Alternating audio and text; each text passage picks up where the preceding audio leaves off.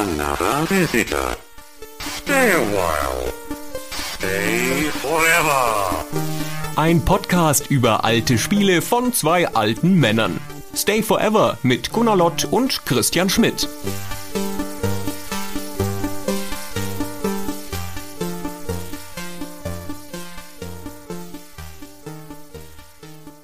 Hallo, liebe Stay Forever Hörerinnen und Hörer und hallo Gunnar.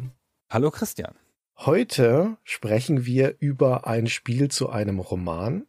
Aber um genau zu sein, sprechen wir sogar über zwei Versuche, ein Spiel zu diesem recht komplizierten Roman zu machen, nämlich zu einem der großen Klassiker der Science Fiction, Neuromancer. Genau, es gab mehrere Versuche, das zu einem Spiel zu machen. Und man könnte sogar sagen, dass auch der Versuch, der geglückt ist, nicht ausschließlich nur geglückt ist. ja, und vielleicht auch gar nicht so viel mit dem Roman zu tun hat. Das werden wir alles heute erkunden. Es ist einmal ein Spiel, das für sich genommen interessant ist, deswegen sprechen wir heute drüber, das aber auch eine ganz faszinierende Entstehungsgeschichte hat, wo auch berühmte Persönlichkeiten links und rechts aufploppen. Wir haben im Vorfeld auch zwei Interviews geführt mit Beteiligten, nämlich mit Bruce Balfour, der einer der Autoren war, und mit Troy Miles, dem Programmierer des Spiels. Und die werden im Laufe der Erzählung auch zu Wort kommen. Das Spiel, über das wir reden, heißt Neuromancer. Es ist eine Art Adventure-Rollenspiel, Hybrid aus dem Jahr 1988, kam damals für relativ viele Plattformen, C64, MS-DOS, Amiga, Apple II und sowas. Und es basiert auf dem Roman von William Gibson von 1984, der genauso heißt. Der Hersteller des Spiels ist Interplay, die waren auch gleichzeitig der Publisher davon, bekannt von Bard's Tale vor allen Dingen, aber kurz zuvor auch mit Battle Chess hatten sie einen großen Erfolg. Damals sind sie mit Battle Chess auch ins eigene Publishing eingestiegen. Vorher war Interplay ein reiner Entwickler in den 80er Jahren, hat über Electronic Arts gepublished hauptsächlich oder Activision auch vorher. Und ab Battle Chess haben sie gesagt, so, nein, jetzt bringen wir unsere Spiele selbst raus. Und Neuromancer ist das zweite von diesen selbst produzierten, herausgebrachten Spielen. Und wie schon gesagt, das Spiel basiert auf einem Roman. Neuromancer ist ein Buch, das William Gibson veröffentlicht hat im Jahr 1984, im Juli 1984. Da ist er gerade 36 und das ist sein erstes Buch. Gibson ist jetzt bis dato nicht groß aufgefallen in der Science Fiction, wurde 1948 in den USA geboren. Noch bevor er 20 wurde, ist er ausgewandert nach Kanada, damit er nicht zum Vietnamkrieg eingezogen werden konnte und lebt seit langem in Vancouver, wo er auch heute noch lebt. Dieses Buch, das er da veröffentlicht, wird ein Erfolg, ein richtiger Erfolg. Er baut die Welt dann zu einer Trilogie aus. Im Abstand von zwei Jahren kommen noch die Romane Count Zero und Mona Lisa Overdrive dazu. Dieses Buch hat einen ganz eigenen Sound und ich möchte hier mal die ersten Zeilen des Buches einspielen. Das ist die deutsche Übersetzung von Reinhard Heinz und Peter Robert, gesprochen von Marc Bremer. Der Himmel über dem Hafen hatte die Farbe eines Fernsehers, der auf einen toten Kanal geschaltet war. Ich bin ja kein User, hörte Case jemanden sagen, als er sich durch die Menge an der Tür des Chat drängte. Mein Körper leidet neuerdings einfach unter Drogenmangel. Es war eine Sprawl-Stimme und ein Sprawl-Spruch. Das Chetsubo war eine Bar für Berufsexilanten. Man konnte dort eine Woche bechern, ohne ein Wort Japanisch zu hören. Rats schmiss die Bar. Seine Armprothese zuckte monoton, als er einen Schwung Gläser mit Kirin vom Fass füllte. Er sah Case und lächelte. Sein Gebiss war ein Flickwerk aus osteuropäischem Stahl und brauner Fäulnis. So, und da sind wir jetzt auch. Genau da, wo der Roman anfängt, fängt später auch das Spiel an, wenn wir drüber reden, in einer Bar im futuristischen Chiba City in Japan. Der Protagonist heißt Case, der ist arbeitslos und sein Nervensystem ist beschädigt aufgrund von Problemen mit früheren Aufträgen und deswegen kann er sich erst nicht mehr in die Matrix einklinken. Ist also nutzlos, ja, so ein Hacker, der nicht hacken kann. Und er lernt relativ bald auf den ersten Seiten Molly Millions kennen. Das ist eine Street Samurai, eine Frau, eine Söldnerin mit so Cyberimplantaten. Die will ihn rekrutieren für einen Job bei Armitage, einer schillernden Figur im Roman. Der Armitage soll dafür sorgen, dass er ein Gegenmittel für dieses Nervensystemproblem erhält. Das ist ein Gift, das ihm dein früherer Arbeitgeber verabreicht hat, damit er wieder in die Matrix kann, weil er will, dass er für ihn hackt. Und dann entspinnt sich da eine Geschichte draus, dann wird er nach Boston gebracht, in so einen großen Metropolenkomplex, der halt Sprawl heißt. Wir sind im Jahr 2058 übrigens. Dann wird er operiert, erholt sich, dann geht die Reise nach Istanbul, dann rekrutieren sie da noch jemanden. Aber die ganze Zeit ist dieser Armitage in Wirklichkeit kontrolliert von einer KI und wird ein doppeltes Spiel mit ihm gespielt. Sie kriegen dann im Lauf der Handlung raus, dass es eine KI gibt, die heißt Wintermute und die benutzt dieses kleine Hacker-Team, um die Regeln der Kybernetik zu durchbrechen, um die Restriktionen, die KIs auferlegt sind, zu durchbrechen weil die KIs werden kontrolliert von einer Art staatlichen Agentur, der Turing Agency, die dafür sorgen soll, dass die sich nicht selbstständig machen können, weil die zu gefährlich sind. Wintermute möchte das aber gerne und es will mit einer anderen KI verschmelzen, mit Neuromancer. Weil Neuromancer ist so ein bisschen die andere Seite davon. Ja, Wintermute ist eher analytisch und Neuromancer hat auch Gefühle und sowas. Und Wintermute glaubt, dass daraus das perfekte Wesen entsteht, das dann die Matrix beherrschen kann. Neuromancer ist ganz anderer Meinung, aber Wintermute fragt nicht. Und das klappt auch. Und danach ist diese neue KI dann in der Welt und hat große Macht und ist dann quasi die Matrix. Das ist in aller Kürze die Handlung des Romans. Die ist nicht so super spannend, so als Handlung. Das Interessante ist, dass hier Konzepte eingeführt werden und ein Genre erfunden wird.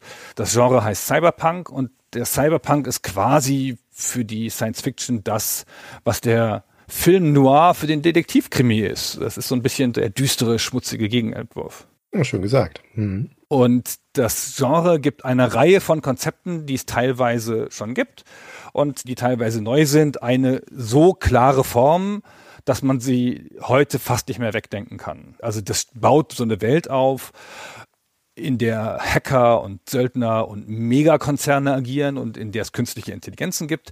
Diese allwissende, sprechende KI, wir haben eben von Wintermute gehört, die gibt es schon länger, seit Kubricks Odyssey im Weltraum frühestens und seit David Gerrolds Roman Ich bin Harley. Und hier wird sie dann zu einem zentralen Element.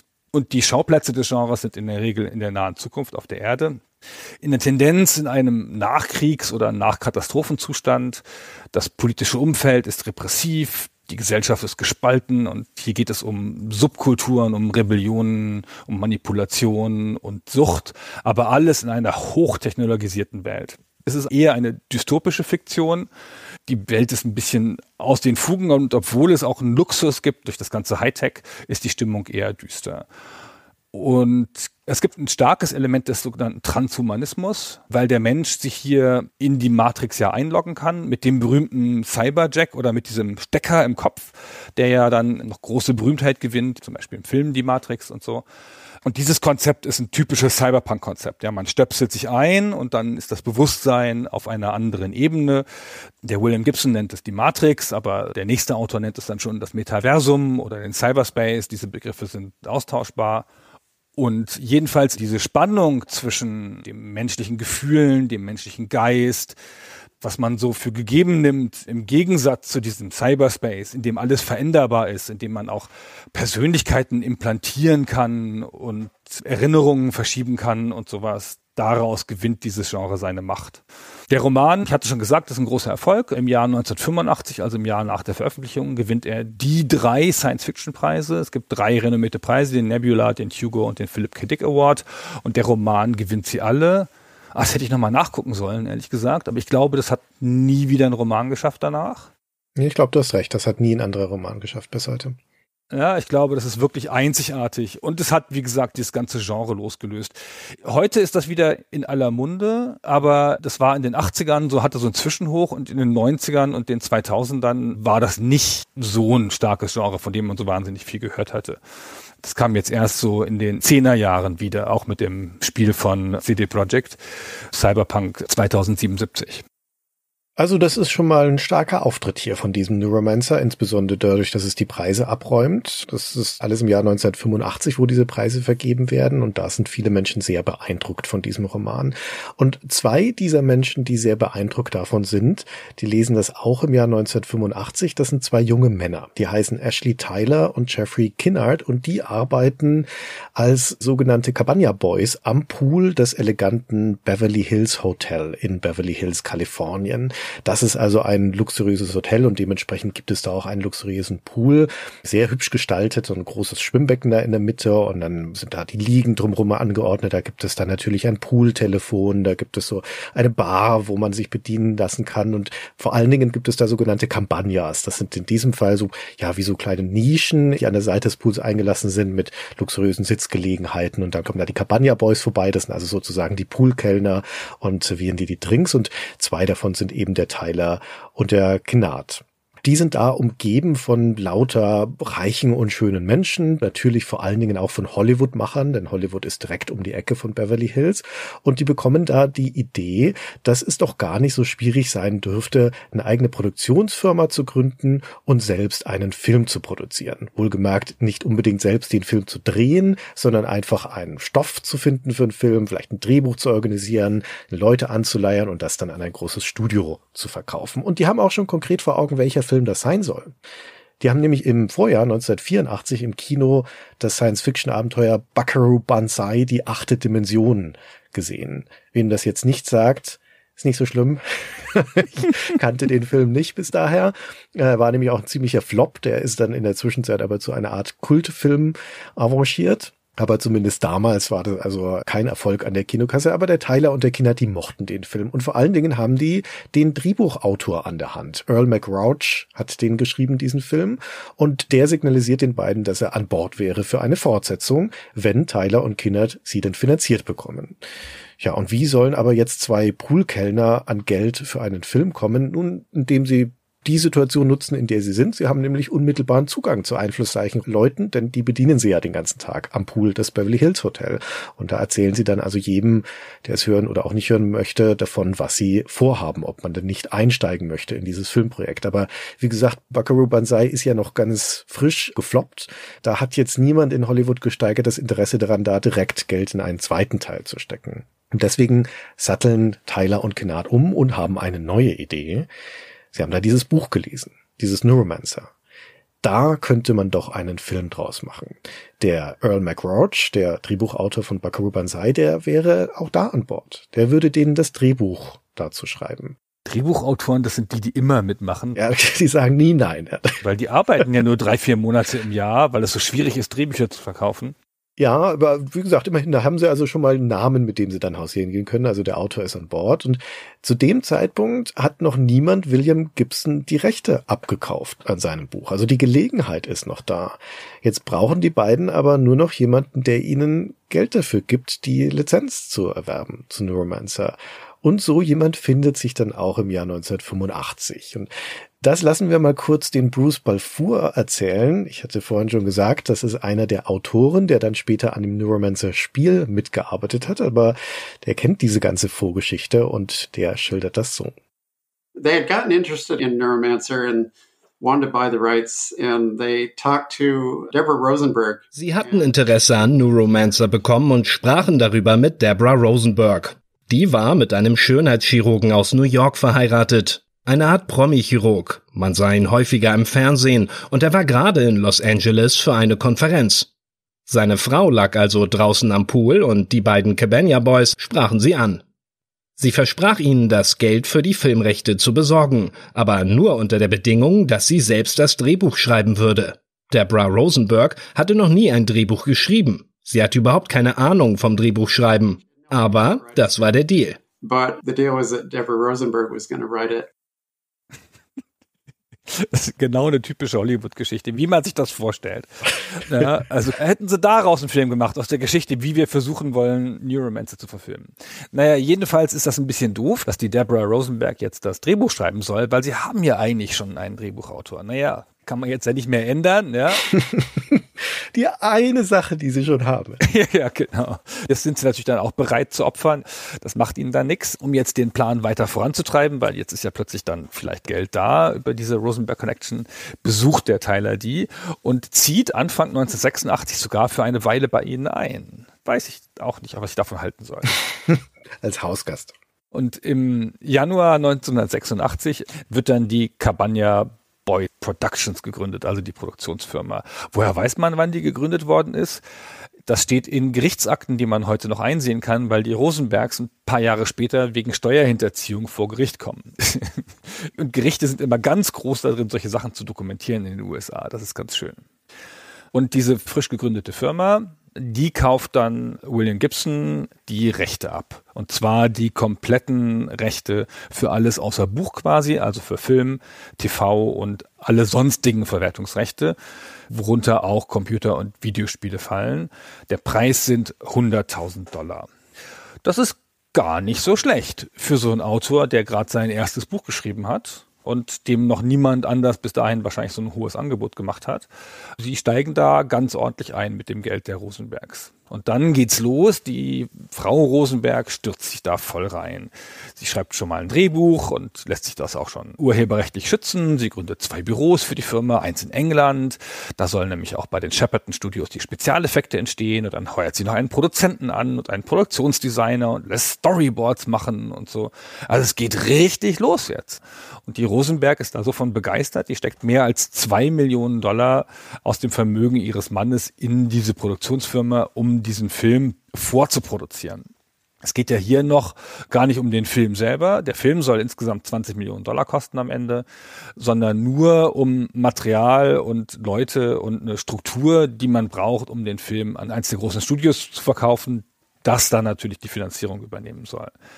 Wer davon jetzt nicht mehr so recht was hat, sind die Initiatoren, Kyler und Tinnert, die eigentlichen Cabania Boys weil der Kinnert steigt noch im Sommer 86 aus, hat nicht mal ein halbes Jahr in dieser Firma mitgemacht und Tyler steigt dann 1987 aus, Anfang 87 und der Film ist jetzt ein reines Rosenberg-Projekt. Dann verschwinden Tyler und Kinnard in den Kulissen dieser Erzählung und dann tritt jemand ganz anderes auf, ein amerikanischer Prominenter, der auch ein Buch gelesen hat. Timothy Leary. Ja, der Timothy Leary, das ist ein Name, den man vielleicht schon mal gehört hat. In den 60ern, 70ern, 80er Jahren war das in den USA ein Name, den eigentlich jeder kannte.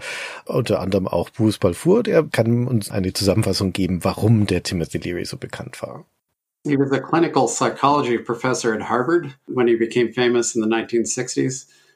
Er wurde in den 1960ern berühmt. Da war er gerade Professor für klinische Psychologie in Harvard.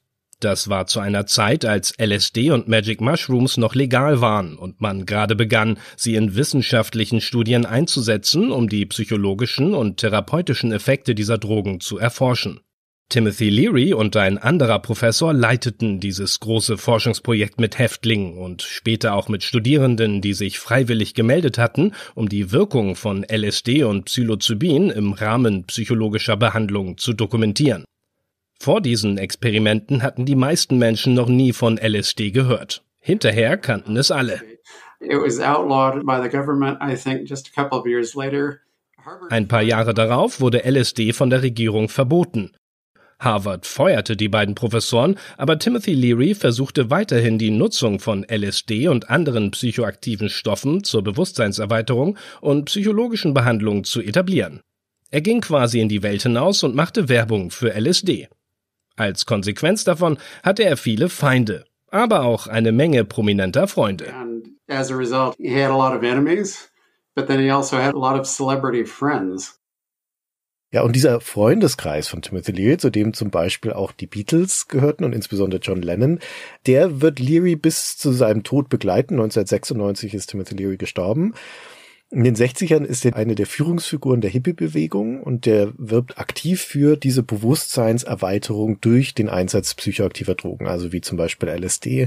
Deswegen wird er vom konservativen US-Präsidenten Richard Nixon auch als der gefährlichste Mann Amerikas bezeichnet. Und er kommt dann letztendlich auch vor Gericht wegen Drogenbesitzes, aber nicht wegen LSD, sondern weil bei ihm Mariana-Joints gefunden werden in seinem Auto wo bis heute spekuliert wird, ob die da nicht vielleicht reingesteckt wurden von jemandem, der ihm anschwärzen wollte. Auf jeden Fall steht er dann ab den 60ern mehrmals vor Gericht und landet dann Anfang der 70er sogar im Gefängnis. Da gibt's einen spektakulären Ausbruch, dann ist er mehrere Jahre lang auf der Flucht und wird 1973 dann an die USA ausgeliefert und sitzt dann nochmal drei Jahre in Haft.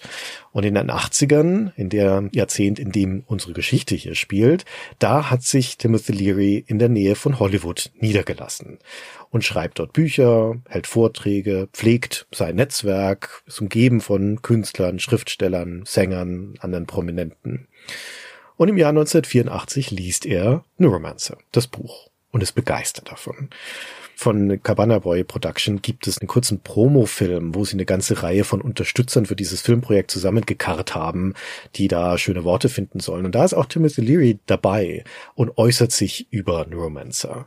Dann können wir mal kurz reinhören, wie er über das Buch schwärmt. This is the most interesting, exciting book I've read in years. Uh, not only is a literary masterpiece, but it's a, it's a new genre of science fiction that's not way into the future of Star Wars and Obi-Wan Kenobi and forces. It's the way the world is going to be in 10 years, like it or not, and it's preparing us for that. Ja, also da hat Liga also auch ein paar Sätze, um dazu beizutragen, dass dieser Film produziert wird. Aber an dem Film selbst ist er überhaupt nicht beteiligt. Ihm geht's um was ganz anderes. Er macht zu dieser Zeit nämlich Computerspiele. auch eine überraschende Wendung, finde ich. Die Führungsfigur der Hippies der 60er ist hier in den 80ern im Computerspiele-Thema unterwegs. Leary hat 1983 ein eigenes kleines Entwicklungsstudio gegründet, das heißt Futique. Incorporated, also aus den Wörtern Future und Antique zusammengesetzt. Das soll nach seiner eigenen Aussage Computerprogramme entwickeln, die Individuen ermöglichen, ihre Gedankenbilder zu digitalisieren und neue Realitäten auf der anderen Seite des Bildschirms zu erschaffen. Das klingt schon fast ein bisschen, als hätte er den Neuromancer vorweggenommen. Aber was er damit meint, ist nicht die Matrix und nicht der Cyberspace und auch nicht mal unbedingt normale Spiele, sondern das, was er machen will und macht, sind eher psychologische Selbstfindungs- und Erkenntnis-Softwareprodukte. Das klingt ein bisschen esoterisch, aber Leary ist findig und es gelingt ihm sein erstes Werk beim noch jungen, aber doch schon bekannten Publisher Electronic Arts unterzubringen. Das erste Produkt heißt Timothy Leary's Mind Mirror. Das erscheint 1986. EA hat damals durchaus Sachen im Programm, die keine richtigen Spiele sind. Zum Beispiel die Anwendungssoftware Make Your Own Murder Party. Also unterhaltsame Produkte, die halt dann aber dafür keine richtigen Spiele sein müssen. Und Mind Mirror fällt in die gleiche Kategorie. Ist ein bisschen wie das Spiel Alter Ego, das wir schon mal besprochen haben, aber weniger Spiele als Alter Ego und es präsentiert den Spielern so ausgeschmückte Lebenssituationen mit Multiple-Choice-Antworten. Das beschreibt eine Situation und dann stellt es einem eine Frage, die man auf eine ein oder andere Art beantworten kann und daraus zieht das Spiel dann irgendwelche Schlüsse. Wir erinnern uns vielleicht noch in der Folge von Alter Ego kam es kurz vor, dass das Spiel anfängt mit der Geburt und dass man da die Auswahlmöglichkeit hat, ob man Come-out-Fighting sein wollte, also aus dem Mutterleib quasi sich rauskämpft oder ob man noch ein bisschen drin bleiben wollte. Und dann hat das Spiel da große psychologische Schlüsse zugezogen. Und hier in dem Mind Mirror geht es noch ein bisschen zurück. Ja, da ist eine der ganz frühen Szenen, dass man ein Ei ist, mit noch mehr Eiern in der Gebärmutter liegt und sich da dann unterhält, so philosophisch und darüber überlegt, wie jetzt so das einzuschätzen ist, das, was jetzt passiert. Und dann sagt eins der anderen Eier, das Leben wird bestimmt super, raus damit und so. Und das nächste so, nee, lass mal lieber hier bleiben, life's a bitch ja, komm, nimm's doch wie du willst und ach nee, hier gar nicht geboren werden, gar nicht geboren werden. Nicht mal befruchtet werden. Befruchtet werden ist schon falsch. und dann wählt man davon irgendwas aus und daraus entwickelt sich dann was. Es ist alles ein bisschen Hanebüchen, aber sicherlich einigermaßen unterhaltsam. Ja, ist amüsant, ja. Ja, genau. Ne? Wird sogar 1986, Ende 86 im Deutschen Spiegel kurz besprochen. Also nicht im Sinne eines Reviews oder sowas, aber in einer kurzen Erfolgsmeldung. Und der Spiegel gratuliert dem Leary dazu, dass da 15.000 Einheiten zum Stückpreis von 35 Dollar verkauft wären. Und bringt ein Zitat von Leary, offenkundiges PR-Zitat. 1950 war ich Vorstadtwissenschaftler, 1960 begann ich mich mit der Bewusstseinserweiterung zu beschäftigen, heute bin ich im Softwaregeschäft. Ich bin ein totaler Konformist. Was natürlich ein sehr hübsches Zitat ist. Ganz nett. Der Leary weiß, das Spiel zu spielen, ne? das PR-Spiel. Am Ende werden es dann 65.000 Stück von dem Mind Mirror. Das ist nicht so schlecht und es hat ja auch wahrscheinlich nicht so viel gekostet. Es hat ja nicht mal Grafik. Aber so Bestseller im Sinne von Spielen ist das auch nicht. Ja? Also 1986 konnte man schon 100.000 Stück verkaufen und so. Der Leary ist der Designer dieses Produktes, aber die Umsetzung haben zwei andere Leute gemacht, Robert Dietz und Peter van den Beemt. Denn der Leary ist kein Computertyp der hat da keine große Ahnung von. Ja, der interessiert sich für alles Mögliche in der Breite und der findet die Perspektive, die Computer bieten, durchaus faszinierend, aber Computer selber bedienen kann er nicht. Und ehrlicherweise von Spielen hat er auch keine Ahnung. Futique macht dann halt auch keine Spiele, sondern halt so ähnliche Programme wie das eben beschriebene, Sachen wie das Programm Head Coach und Intercom. Das sind alles eher so Selbsterkenntnisprogramme. Mind Mirror ist das einzige von denen, das je erscheint. Ja, die bleiben alle in irgendwelchen Stadien der Entwicklung stecken. Damit kommen wir wieder zu Neuromancer zurück, also zum Buch erstmal, denn da ist Leary auch in allererster Linie fasziniert von den Persönlichkeiten der Helden, den Persönlichkeitsprofilen. Und es gibt dann Tonbandmitschnitt eines Gesprächs zwischen Leary und Gibson dazu von 1986, in dem sie lange und lebhaft darüber diskutieren, welche Kindheitserlebnisse der Hauptcharakter wohl gehabt haben mag, die ihn so geprägt haben, dass er zu dem geworden ist, der er ist. Leary ist so begeistert von Neuromancer, dass er daraus ein Spiel machen möchte oder zumindest mal eine interaktive Software. Eins von seinen Selbsterkenntnisprogrammen wahrscheinlich. Aber Problem, und damit kommen wir zur Geschichte zurück, die Rechte sind ja schon verkauft. Das haben ja die Strandhüttenjungs. Und was bleibt Leary anderes übrig? Er muss jetzt mit Cabana Boy Productions Kontakt aufnehmen und das Spiel aus deren Lizenzpaket sublizenzieren. Und das klappt auch. Ja, ich glaube, das kommt Campania Boy Productions ganz recht. Die möchten ja gerne ihr Projekt auch mit bekannten Namen spicken. Deswegen auch dieses Leary Testimonial da in dem Film. Und das, was der Leary dann in Angriff nimmt zu Neuromancer, das ist auch so eine Art Begleitprodukt zu dem Film. Das soll also ein elektronisches, interaktives Programm werden. Der Leary selbst nennt das ein Electronic Mind Movie. Und das ist schon also in viel stärkerer Ausprägung Spiel und als Spiel gedacht als seine Programme vorher. Und da reden wir nicht über das Spiel, das dann später bei Interplay entstehen wird, sondern das ist sozusagen eine Vorgängerfassung. Also das, was der Leary daraus machen möchte. Denn wie gesagt, der hat ja sein eigenes Studio, in Anführungszeichen, dieses Foutique Incorporated. Und das ist dieses Vorgängerspiel gibt zu dem dann später erschienenen Romancer, darüber wusste man lange Zeit gar nicht so viel. Als der Leary 1996 gestorben ist, da ist sein ganzer Werknachlass als Leary Archive gebündelt worden und 2011 hat dann die New York Public Library diese Sammlung übernommen. Und seitdem wird das da katalogisiert und beforscht. Und in diesem Werknachlass sind auch 375 Disketten von Leary. Und auf denen wiederum sind auch zahlreiche Materialien zu seinen ganzen Softwareplänen, seinen ganzen, wie gesagt, halbfertigen Produkten, die er da mal in Angriff genommen hat, mit seinen Kompagnons bei Foutique. Und im Jahr 2013 hat das Archive, also die New York Public Library, dann auch einige Screenshots davon veröffentlicht, von diesen Disketten. Und da hatte man dann zum ersten Mal ein besseres Bild davon, was sich der Leary eigentlich vorgestellt hat unter diesem Neuromancer, unter diesem Electronic Mind Movie. Nämlich zuerst mal in diesem Konzept auch wieder ein textbasiertes Programm, reiner Textmodus.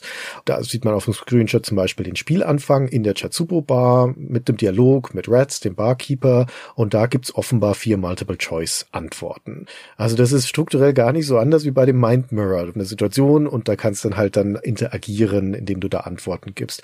Und gedacht war dieses Spiel, dieses Programm als eben eine Serie von solchen Situationen und Entscheidungen. Kann man sich vielleicht ein bisschen wie ein Abenteuerspielbuch vorstellen. Aber mit dem Twist, dass man am Anfang sich zwischen vier verschiedenen Protagonisten entscheiden können sollte. Also nicht nur den Case, sondern auch zum Beispiel die Molly. Und dann erlebt man die Geschichte unter deren Perspektive, also mit verschiedenen Persönlichkeiten. Ne? Da sind wir wieder bei Liris geliebten Persönlichkeitsprofilen und Perspektivwechseln, die das erlaubt.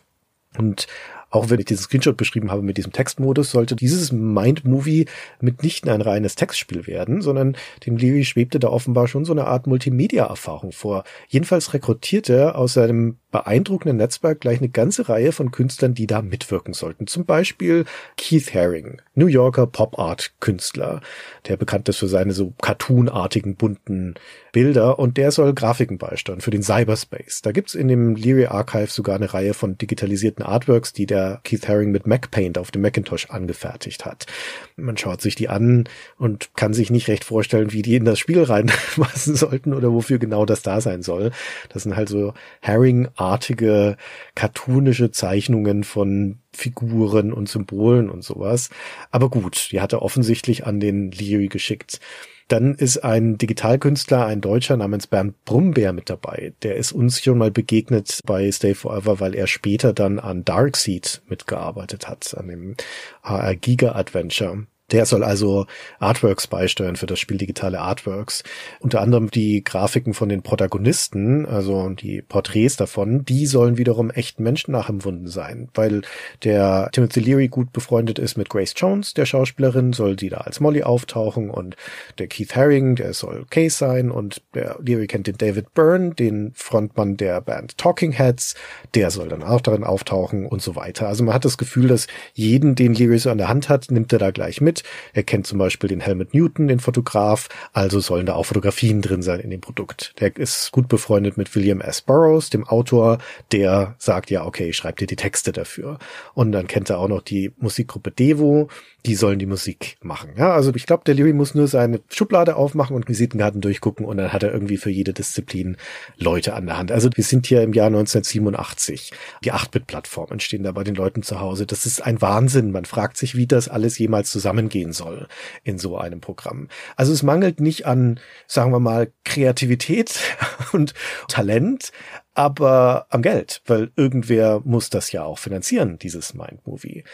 Und zwar am besten sogar mehr als eines von den Mind-Movies, denn Foutique hatte einen Businessplan damals für das Jahr 1987. Da stehen gleich drei solche Mind-Movie-Projekte drauf. Neben Neuromancer möchte Leary gern auch eins zu Blade Runner machen und auch zu Hermann Hesses Das Glasperlenspiel. Aber gut, also ein logischer Partner, um Geld zu geben, liegt ja nahe, weil Leary hat ja schon mal ein Spiel rausgebracht. Hattest du ja gerade erzählt, mit Electronic Arts. Also nimmt er seine Ideen und Stapel Zettel und Materialien und geht zu EA und schlägt das dort vor. lass mal kurz Bruce Balfour erzählen, was da passiert. He uh, pitched Electronic Arts on the idea of a Neuromancer game. Er stellte Electronic Arts seine Idee eines Neuromancer-Spiels vor. Ich habe noch seine Unterlagen. Das waren im Endeffekt Charakterbeschreibungen, detaillierte Persönlichkeitsanalysen, aber da stand nirgends, wie daraus ein Spiel werden sollte. Das waren einfach nur Persönlichkeitsprofile aller Figuren. Tim Leary war ein Fan des Infocom Adventures Suspended, weil es den Spieler zwang, in verschiedene Persönlichkeiten zu schlüpfen in Form von spezialisierten Robotern. Jedenfalls war das meiste, was es zum Neuromancer-Spiel gab, Learys Ausführungen zu den Persönlichkeiten, aber kein wirkliches Spielkonzept. Also sagte Electronic Arts nein. So Electronic Arts said no. Das war leicht zu erwarten, ehrlich gesagt. Dass jetzt die teurere Variante von dem Mind Mirror jetzt nicht so easy durchgeht bei EA. Also das wundert jetzt, glaube ich, niemanden. Das ist halt ein verworrenes Projekt mit vielen beweglichen Teilen, ja, mit vielen Leuten, die da involviert sind. Das kann man, glaube ich, nicht in eine klassische Computerspielproduktion in den 80ern gießen. Und das ist EA auch klar. EA lehnt es also ab. Leary geht dann noch weiter zu Activision und kommt da aber auch nicht weiter. Aber EA öffnet eine andere Tür, denn Bruce Balfour erinnert sich, dass der zuständige Producer bei Electronic Arts Joe Ibarra ist und der betreut auch die Bart's Tale-Reihe von Interplay. Und über den Ibarra lernen sich halt Leary und der Interplay-Chef Brian Fargo kennen und verstehen sich offenbar gut. Der Fargo wird dann in diesen Freundeskreis integriert, in den lyrischen Freundeskreis. So. Ich stelle mir das schon so vor, dass der so Karteikarten hat, der Leary, ja, und Leute, die ihm nutzen können oder die er interessant findet, die werden irgendwo einsortiert und genießen dann irgendwelche Partyrechte. Der Fargo wird dann auch da zu Events eingeladen, zu Partys eingeladen und der Fargo ist im Gegenzug dafür dann halt freigebig, was den technischen Ratschlag angeht zu dessen Computerprojekten. Der ist ja auch noch ein junger Mann, der Fargo. Der ist, glaube ich, Mitte 20 zu diesem Zeitpunkt. Der hat 1983 hat er Interplay gegründet, also erst ein paar Jahre vorher. Genau. Und der Leary, als er abblitzt mit seinem Mind-Movie-Projekt, Fargo konnte sich das schon vorstellen, grundsätzlich mit seiner Firma aus Neuromancer ein Spiel zu machen. Auch deswegen, weil Interplay notorisch finanzschwach ist und denkt, jetzt kommt man hier vielleicht auf einem bisschen schrägen Wege an eine starke Lizenz. Da kann man vielleicht einen kleinen Hit draus stricken. Sie machen das ja später dann nochmal und machen Lizenzspiele zu Herr der Ringe und Star Trek. Aber der Fargo ist halt natürlich ein Computerspielmacher und schon auch ein versierter, ja. Die haben zu dem Zeitpunkt schon ein paar erfolgreiche Spiele gemacht und auch gute Spiele gemacht der will nicht das Spiel machen, das sich der Leary vorstellt. Also gar nicht. das ist ihm völlig klar, dass das kein richtiges Spiel wird mit diesen Szenenbeschreibungen, wo man dann Antworten auswählt. Dann verwendet er viel Zeit drauf, um dem Leary die Flausen auszureden. Das ist, glaube ich, nicht so leicht, weil der Leary ist, glaube ich, ein starker Charakter, aber der Fargo hat auch vor nichts Angst und dann gelingt dem das. Der redet dem Leary das aus. Und auch dazu hören wir uns eine Einlassung von Bruce Balfour an. Irgendwann hatten er und Brian Fargo so lange geredet, Brian versuchte mit ihm über Dinge zu sprechen wie Spielmechaniken und die Machbarkeit von Sachen, die man auf Computern derzeit umsetzen konnte oder eben nicht, dass Leary letztendlich das Interesse verlor. Er hat aber immer noch versucht, uns zu helfen. Er schlug uns zum Beispiel eine Reihe von Künstlern vor, darunter Keith Haring aus New York City. Da musste ihm Brian dann wieder erklären, ja, die Grafiken sehen zwar sehr hübsch aus, aber das hat viel zu viele Farben und ist viel zu kompliziert, um es im Spiel zu verwenden. And the last thing really that he did was the connection with Devo, and he called Brian Fargo at two o'clock in the morning. Das letzte, was er für uns getan hat, war die Verbindung zu Devo herzustellen. Er rief Brian Fargo um zwei Uhr nachts an und sagte, Hey, meine Freunde von Devo machen gern die Musik für euch. Danach zog er sich aus dem Projekt zurück. Wir haben ein paar Mal mit ihm gesprochen, aber das war's dann schon. Der Leary gibt dann richtig auf.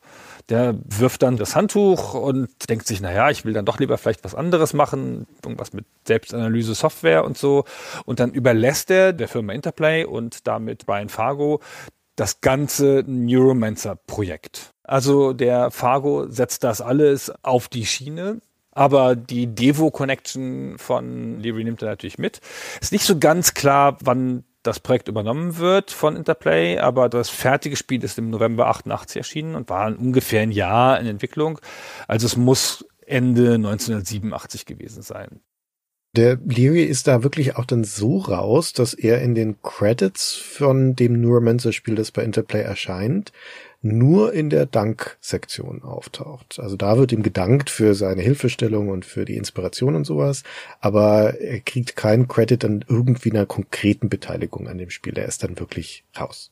Genau. Ich hätte noch gerne gewusst, aber das konnte ich nicht so richtig rausfinden, wie das mit den Rechten gelaufen ist. Ob dann Interplay von Leary das unterlizenziert hat oder ob Leary da dann aus dieser ganzen Geschichte ganz rausgetreten ist und Interplay dann die Rechte doch irgendwie direkt von den Campania Boys hatten. Ich bin mir ziemlich sicher, dass es letzteres gewesen sein muss, denn in der Dokumentation, also im Handbuch und auf der Schachtel von dem Neuromancer-Spiel, da taucht als Copyright des Campania Boy Productions auf und auf der Rückseite der Schachtel steht auch drauf, Neuromancer wird bald als großer Film von Campania Boy Productions umgesetzt. Also das war offenbar eine Klausel direkt vom der Produktionsstudio, dass sie das hinten mit auf die Packung schreiben mussten. Um Werbung für den Film zu machen, der ja dann bald gekommen ist. Ja, ja, es dauert nicht mehr lange. Müsste dann bald kommen. ja. Naja, und bei Interplay werden jetzt die Hüte aufgesetzt und die Rollen verteilt für dieses neue Projekt. Klar ist, dass Interplay-Urgestein Troy Miles, er soll die Programmierung übernehmen, also ist dann der Programmierer für das Spiel. Miles war Mitarbeiter Nummer vier bei Interplay. Seit 1983 ist er dabei. Mittlerweile ist er uralt, Mitte 20, Programmierer in den 80ern. Er soll die Engine machen, aber auch die eigentliche Spielstruktur machen.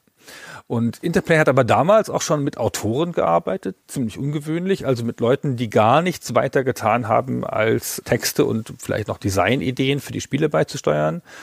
Hauptautor für Interplay zu der Zeit ist Michael Stackpole. Der hat zuvor Wasteland geschrieben. Und dazu sagt Bruce Balfour Folgendes.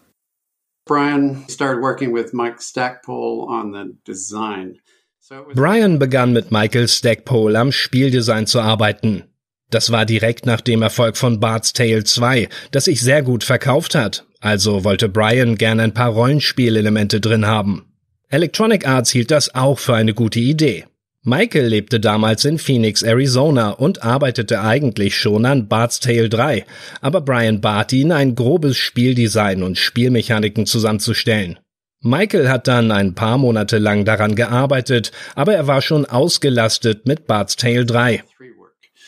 I had just finished doing my work on the tutorial and the text for Battle Chess. Ich hatte gerade meine Arbeit am Tutorial und den Texten von Battle Chess abgeschlossen, also schlug Michael vor, dass ich ja bei Neuromancer helfen könnte. Also habe ich den Rest der Schreib- und Designarbeit für Neuromancer übernommen. Aber die ganze Spielstruktur, die Mechaniken, der Stil, das stand alles schon, als ich dazu stieß.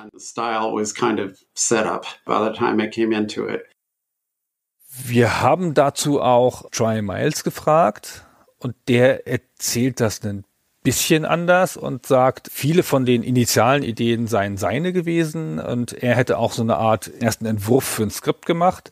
Und erst dann seien die Leute dazugekommen, die halt besser schreiben können als er.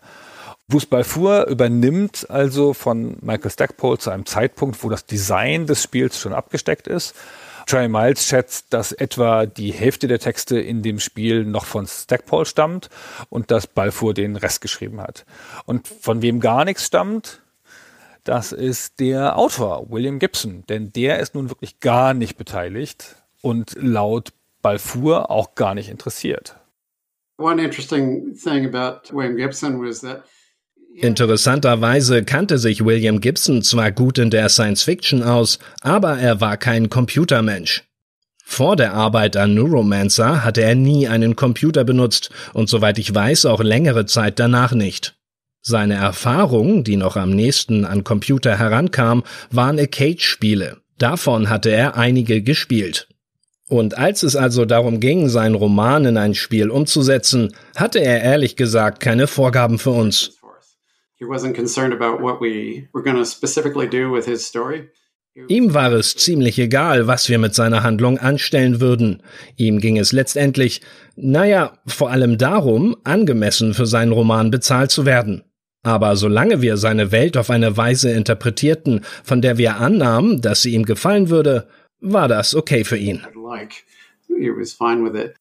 Ja, also die zentrale Person bei der Entwicklung von dem Neuromancer bei Interplay ist schon Troy Miles, der Programmierer, der auch auf dem Titelbildschirm des Spiels, also auf der C64-Version, was die Lead-Plattform ist, als einziger genannt wird. Da steht dann bei Troy Miles und der kriegt auch im Handbuch eine ganze Seite, wo er kurz vorgestellt wird und wo er auch nochmal seine Gedanken schreiben kann. Also Interplay hat ihn in den Mittelpunkt gerückt, was auch deutlich macht, dass er schon die zentrale Figur ist. Aber ihm arbeiten, wie gesagt, diese Autoren zu und der Bruce auch vor allen Dingen auch in so einer koordinierenden eigenen ja, Projektmanagementrolle sozusagen. Was hat denn der Troy Miles eigentlich vor Neuromancer gemacht? Du sagtest ja schon, der ist seit 83 dabei. Das Spiel ist dann 87 in Arbeit. Der ist aber bei keinen anderen Interplay-Spielen irgendwie groß in Erscheinung getreten. Der taucht zwar in ein, zwei Credits auf, aber da immer nur am Rande mit Hilfsarbeiten.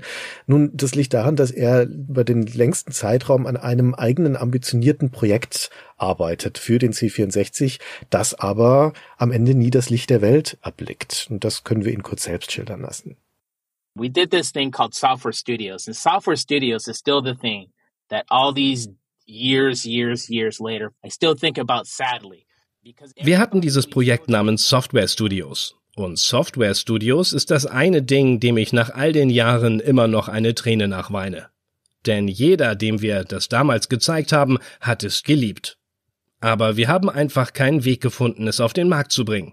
Software Studios war eine Art Zeichentrickfilm-Erstellungsprogramm. Du konntest kleine Cartoons machen und mit Textblasen versehen und Animationen reinbasteln. Du konntest mehrere Charaktere auf den Bildschirm kommen und miteinander interagieren lassen, Sachen anstellen lassen und das dann als Film abspeichern. And, you know, at one point we were talking to Disney about it, and this is probably 87. Am Ende haben wir das Disney gezeigt. Das dürfte 1987 gewesen sein und die waren sehr interessiert daran. Aber dann bekam sie kalte Füße, weil es ihnen ein bisschen zu kreativ war. Wir konnten schließlich nicht verhindern, dass jemand mit dem Programm etwas anstellen würde, das nicht der Natur von Mickey oder Minnie Maus entsprach. Also sind sie in letzter Minute abgesprungen. Und das war das Ende für Software Studios. Aber es bildete dann die grundlegende Engine für Neuromancer und noch ein paar andere Sachen. Its engine was like the bare bones engine for Neuromancer and for later things that I did. Ja, und wie so ist bei den Entwicklungsstudios, das wird dann nicht weggeworfen, sondern dann wird halt dieses Programm des Software Studios, wird dann die Basis zumindest halt für das nächste Projekt und das ist Neuromancer. Also er hat da schon eine technische Grundlage, wo er auf dem C64 Sprites über den Bildschirm bewegen kann, vor Hintergrundgrafiken und vor allen Dingen Textblasen einblenden kann. Und das ist eines der augenfälligen visuellen Elemente von dem Neuromancer Spiel, auf das wir dann gleich zu sprechen kommen, dass es da eben diese Sprechblasen gibt, das ist ein Relikt aus diesem Cartoon-Programm Software Studios. Deswegen ist das auch in Neuromancer so. Ja, und das war's dann aber schon, weil das Software Studios ist keine Spielengine, ne? das beherrscht keine Spielmechanik, das hat kein Spielinterface und sowas. Also alles, was jetzt mit dem Spielablauf zu tun hat, das muss neu geschrieben werden. Ja, und nun stellt sich initial die Frage, was für ein Spiel denn das eigentlich werden soll, das Neuromancer. Naheliegend wäre ja ein Adventure. Also Interplay hat auch angefangen mit Text-Adventures in den 80er Jahren.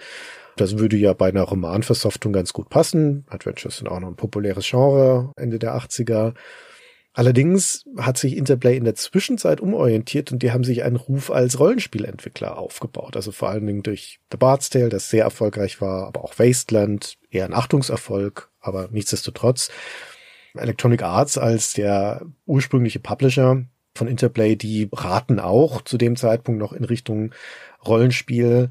Und der Roman hat ja durchaus auch diverse Action-Szenen und Kämpfe und vor allen Dingen ja das Konzept des Icebreaking im Cyberspace, also so eine Art Duell zwischen dem Hacker und den Abwehrmaßnahmen eines Computersystems. Und da liegt es dann jetzt auch nicht so fern, dafür ein Kampfsystem zu stricken. Naja, und so kommt es dann, dass also auf dem Cover des Spiels unter dem Titel Neuromancer die Unterzeile steht, a Cyberpunk Role-Playing Game, also ein Cyberpunk Rollenspiel. Und tatsächlich ist es aber, wie du vorhin schon gesagt hast, ein Hybrid aus einem Adventure und einem Rollenspiel. Und damit ist dann bei Interplay der Rahmen gesetzt. Also wir haben hier grafisches Adventure mit Rollenspielelementen auf dem C64 und dieses Spiel, das schauen wir uns jetzt mal genauer an, Gunnar. So, jetzt nach 45 Minuten Gespräch kommen wir doch mal zum Spiel, Christian. ja. Wie beginnt das Spiel?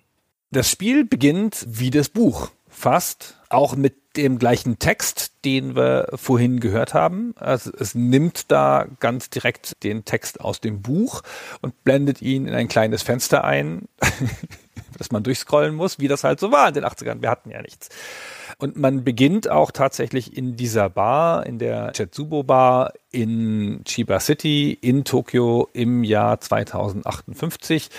Man ist nicht direkt der Held des Buches, der Case, aber man könnte es sein. Es ist ein männlicher Protagonist, der nicht direkt benannt wird. Den du selbst benennen kannst. Du beginnst das Spiel ja damit, dass du den Namen eingibst. Ja, den du selbst benennen kannst. Und nennst du den halt Case und dann ist es auch klar. Oder du nennst ihn Gunnar und so, das ist ja alles egal. Genau. Und dieser Held wacht auf in Chiba City und da fangen schon an, die Ähnlichkeiten mit dem Buch leicht zu verschwinden. Denn der Held kriegt hier relativ schnell die Aufgabe, rauszufinden, warum Cyberspace Cowboys, also so Hacker, diese Söldner des Netzes, verschwinden. Freunde von ihm, Bekannte verschwinden. Das musst du jetzt rausfinden als Spieler, aber du kannst nicht so richtig mitmachen, weil du kannst gar nicht in den Cyberspace. Du bist finanziell in einer schwierigen Lage und hast dein Cyberspace-Deck verpfänden müssen. Man muss nämlich noch so eine Art Computer haben, mit dem man sich in den Cyberspace einloggen kann und ohne Deck geht das nicht. Und die erste Aufgabe, die dem Spieler gestellt wird in dieser Welt, ist jetzt rauszufinden, wie man sein altes Deck aus dem Pfandhaus zurückholt, da wo er es verpfändet hat. Also wir können davon ausgehen, dass das nicht der Protagonist aus dem Buch ist, auch wenn du ihn theoretisch so benennen kannst und auch wenn die Startsituation noch die gleiche ist, aber ab dann sind die Unterschiede doch gravierend, also vor allen Dingen, weil hier auch eine andere Geschichte erzählt wird als die im Buch. Nicht eine Parallelhandlung zu der im Buch, sondern eine Alternativhandlung, eine, die dem Buch auch am Ende widerspricht, den Handlungen des Buches. Und vor allen Dingen kommen ja aber Versatzstücke zwar aus dem Roman vor, aber gerade zentrale Personen wie zum Beispiel Molly oder Armitage oder oder Peter Riviera tauchen überhaupt nicht auf. Auch die Situation von unserem Protagonisten ist ein bisschen eine andere. Der hat zum Beispiel nicht diesen neuronalen Schaden, den er erst beheben muss, sondern wie du schon beschrieben hast, dem fehlt halt jetzt einfach nur die technische Ausstattung, um ins Netz zu kommen. Ja, und die Aufgabe ist letztendlich auch eine ganz andere, nämlich dieses Mysterium, warum im Cyberspace auf einmal die Cowboys verschwinden. Nur der Cyberspace ist weit weg. Ja, also dieses Deck, das wir uns relativ schnell aus der Pfandleihe holen hier am Anfang, das führt uns nämlich auch gar nicht in den Cyberspace. Was das Spiel hier einführt, ist eine Art Dreiteilung von Informationstechnologie. Da gibt's nämlich schon am Anfang in der Tetsubo Bar ein Terminal für das sogenannte PAX, das Public Access Network. Und das ist eine Mischung aus einem Bankautomaten und einem E-Mail-Postfach, wenn man so möchte. Da kannst du dich einloggen da kommt dann auch die Code-Abfrage des Spiels. Das hat ein Code-Wheel. Musst du dann also auf deinem Code-Wheel so lang drehen, bis du bestimmte Stichwörter gefunden hast und deine Nummer eintippen, dann kommst du in dieses Packs. Und das ist die erste Stufe, da kommt man einfach so rein. Dann brauchst du eben dieses Deck, das du beschrieben hast, um in das Äquivalent des Internets zu kommen. Und wir müssen noch dazu sagen, im Jahr 1988 gab es noch kein Internet. Also das Spiel spielt hier vor dem World Wide Web. Die erste Webseite ist 1990 gezeigt worden. Also wir sind zwei Jahre davor. Das ganze Konzept der Webseiten ist da noch nicht klar. Und was es aber zu der Zeit gibt und was auch ubiquitär ist in dem Jahr, in dem dieses Spiel erscheint, sind Mailboxen. Genau. Und Mailboxen haben diese Navigation ohne Maus mit Tastatur durch so Listen von Auswahlmöglichkeiten. Und so stellt sich hier dieses Spiel auch diese Datenbanken im Internet und dieses Packsystem vor. Ja, man geht da durch Auswahlmenüs und kann ein paar Sachen festlegen.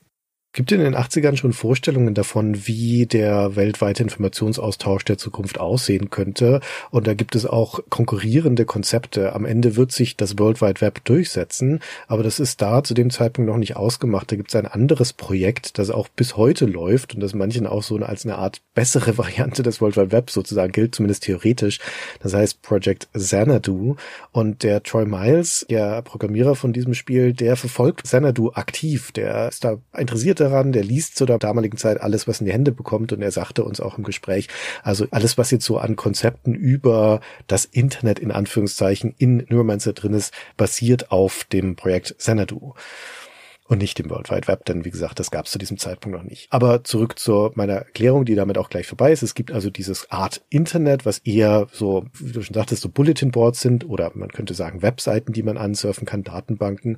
Und dann gibt es darüber noch diesen ominösen Cyberspace, von dem niemand so recht weiß, wie man sich das eigentlich vorstellen soll. Da hat der Gibson zwar das Konzept in seinem Roman geliefert, aber wie genau sieht der aus, der Cyberspace? Was soll das sein? Ja, und da liefert Neuromancer eine der ersten visuellen Vorstellungen davon, wie der Cyberspace wohl gestaltet sein könnte. Und das heben wir uns aber noch ein bisschen auf, bevor wir da hinkommen. Ja, genau. Sehr schön. Das Spiel wirkt wie ein Adventure. Man läuft rum mit einer Figur durch wechselnde Räume. Aus der Seitenansicht, ganz klassisch. In der Seitenansicht genau mit so relativ großen Figuren. Die obere Hälfte des Bildschirms ist ein Blick in den Raum, in dem man seine eigene Figur auch sieht. Die untere Hälfte des Bildschirms ist dem Interface vorbehalten, wo man verschiedene Auswahlmöglichkeiten hat und wo so ein Textfenster ist. Da enden aber schon die Gemeinsamkeiten mit einem klassischen Adventure, wie man sich von Sierra oder von LucasArts vorstellt, auch schon wieder. Das Spiel funktioniert schon sehr anders. Das hat auch kein richtiges Inventar. Das hat dieses Cyberdeck, wenn man das halt hat. Dann kann man da Programme reinladen, die man aber nur im Cyberspace einsetzen kann. Und das ist so eine Art Inventar. Es gibt schon ein Inventar. Du kannst Gegenstände mitnehmen. Ach, du hast ja noch die Gegenstände zusätzlich. Ja, Entschuldigung. Nur nicht viele davon. genau. Es sind halt nicht viele davon und man kombiniert sie nicht wie in einem klassischen Adventure oder so. Und es gibt noch die Möglichkeit, Skills zu lernen. Das wirkt jetzt eher wie eine Rollenspielmechanik. Die lernt man aber, indem man sie einfach erwirbt und die Metapher dafür ist einfach ein Chip, den man kauft und den man sich dann einsetzt, in den Kopf wahrscheinlich direkt und dann beherrscht man eine Fähigkeit. Die meisten Chips sind Fähigkeiten, die auch wieder für den Cyberspace sind. Es gibt aber auch welche, eine der ersten Sachen, die du kriegst, ist ein Kryptologie-Chip Du erfährst manchmal so Passwörter, die verschlüsselt sind und dann kannst du den Krypto-Chip da starten und dann erscheint so ein Eingabefeld und dann gibst du da das verschlüsselte Wort ein und dann erscheint das Klartextwort. So ganz, ganz, ganz simple Mechanik. Ja, das ist ein Menüspiel im Endeffekt. Ja. Das ist echt ein bisschen bizarr, würde ich sagen, weil insbesondere in der C64-Version, dieser Originalversion, ist es ein wirklich schönes Spiel, das Neuromancer. Das hat schön gezeichnete Grafiken, die stammen von Charles Sweetman III, auch ein junger, neuer Mann, der bei Interplay da gerade eingestiegen ist, der zeichnet die Hintergründe. Das hat schöne Animationen für den Hauptcharakter, der hat so einen hübsch federnden Schritt, wie er da durch die Straßen marschiert. Ansonsten gibt's nicht viele Animationen im Spiel, aber so allein die Welt, die uns hier aufgemacht wird mit diesem perspektivischen Blick in sie hinein. Man ist ja viel auf Straßenzügen unterwegs in diesem Shiba City und da gibt's dann eben auch Tiefe, wo du in die Tiefe reingehst von den Straßen, wo die Häuserzeilen links und rechts aufragen. Das ist schon echt ansehnlich und das ist auch schön detailreich für C64-Grafik, wenn man einen von den Läden, den Bodyshop zum Beispiel reingeht.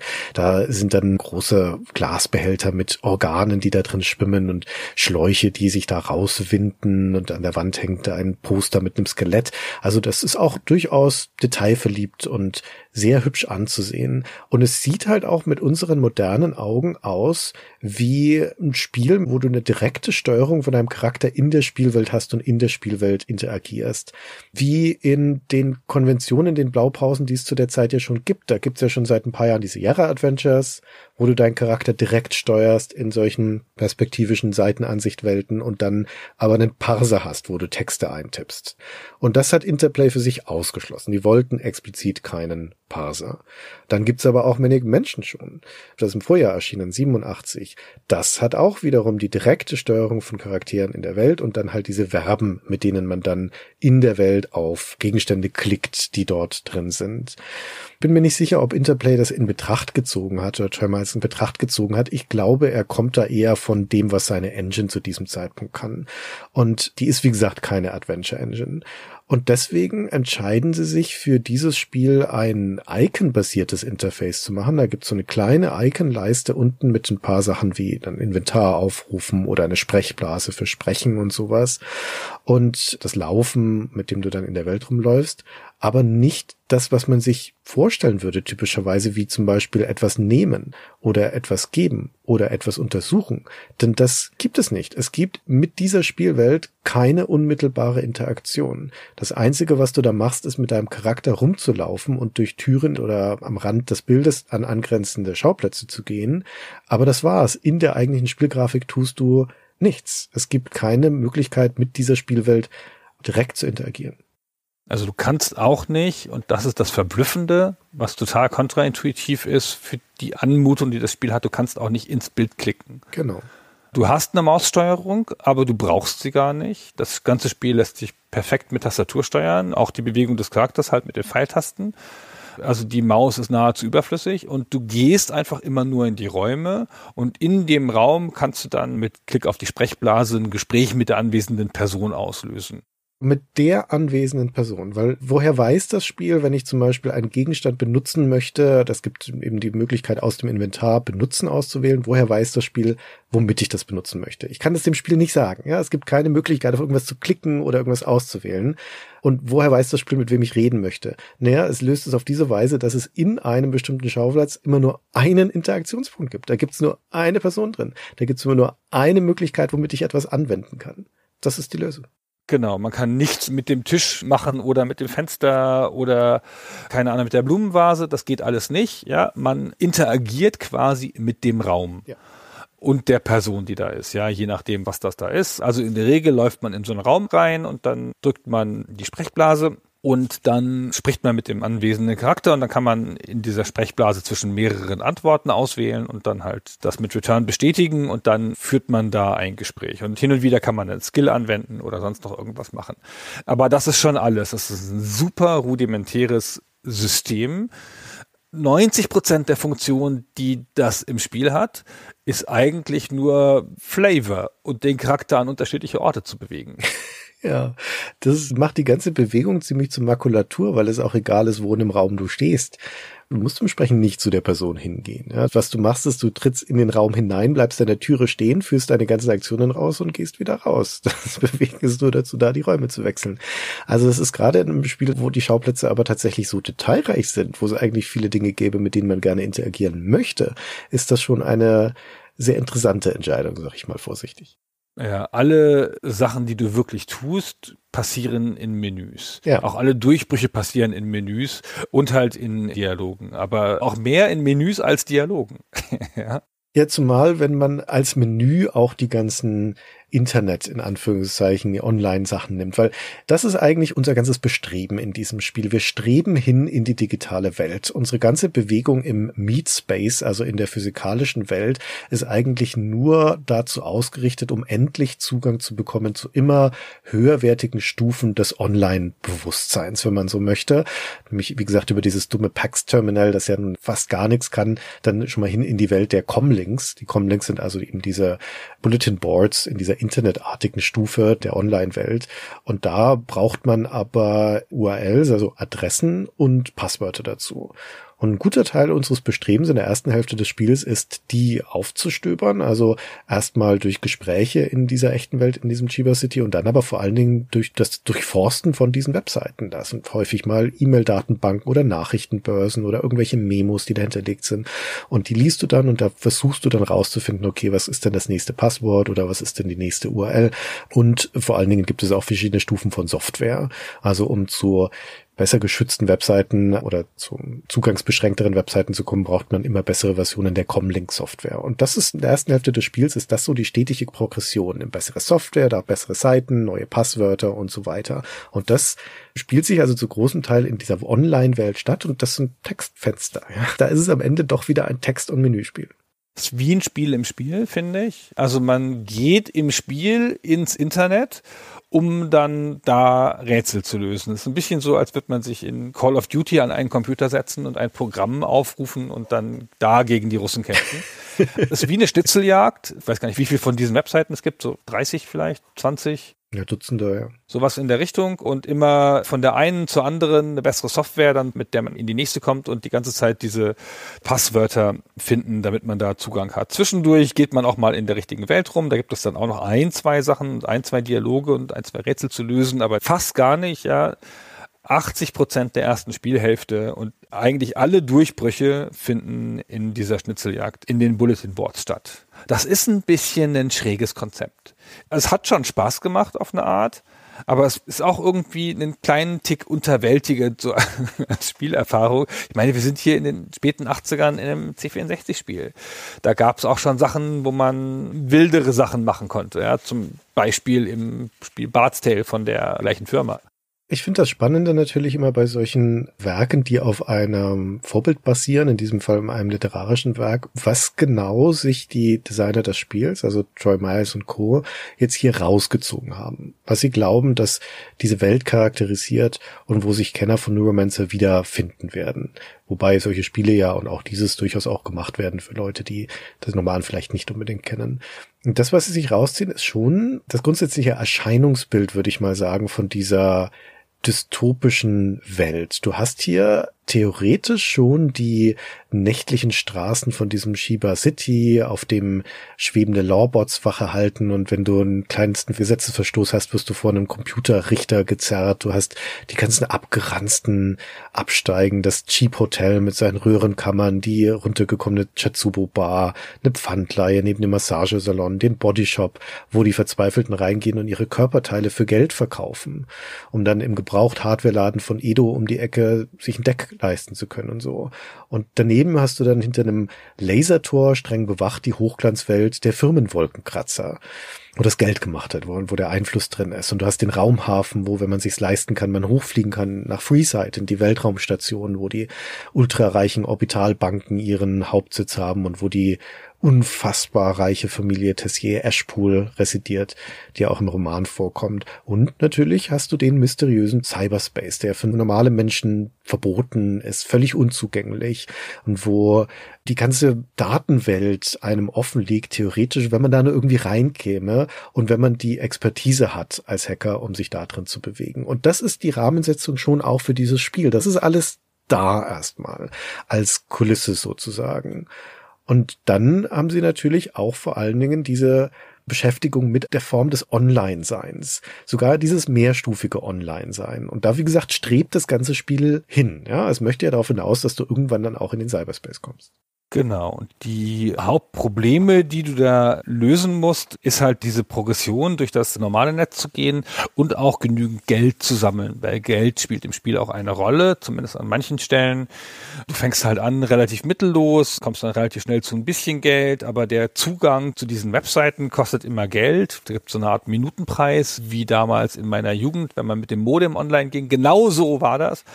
Und da wird dir dann immer Geld abgezogen. Das heißt, du bist da auch ständig auf der Jagd nach Geld, auch um Fertigkeiten, Chips und vor allen Dingen später dann ein Cyberdeck zu bezahlen, das am Anfang noch unerschwinglich scheint. Und dann gehst du da so durch.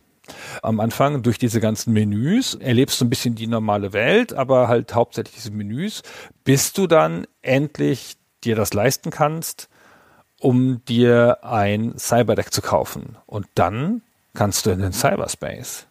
Und dann wird es wild, Christian.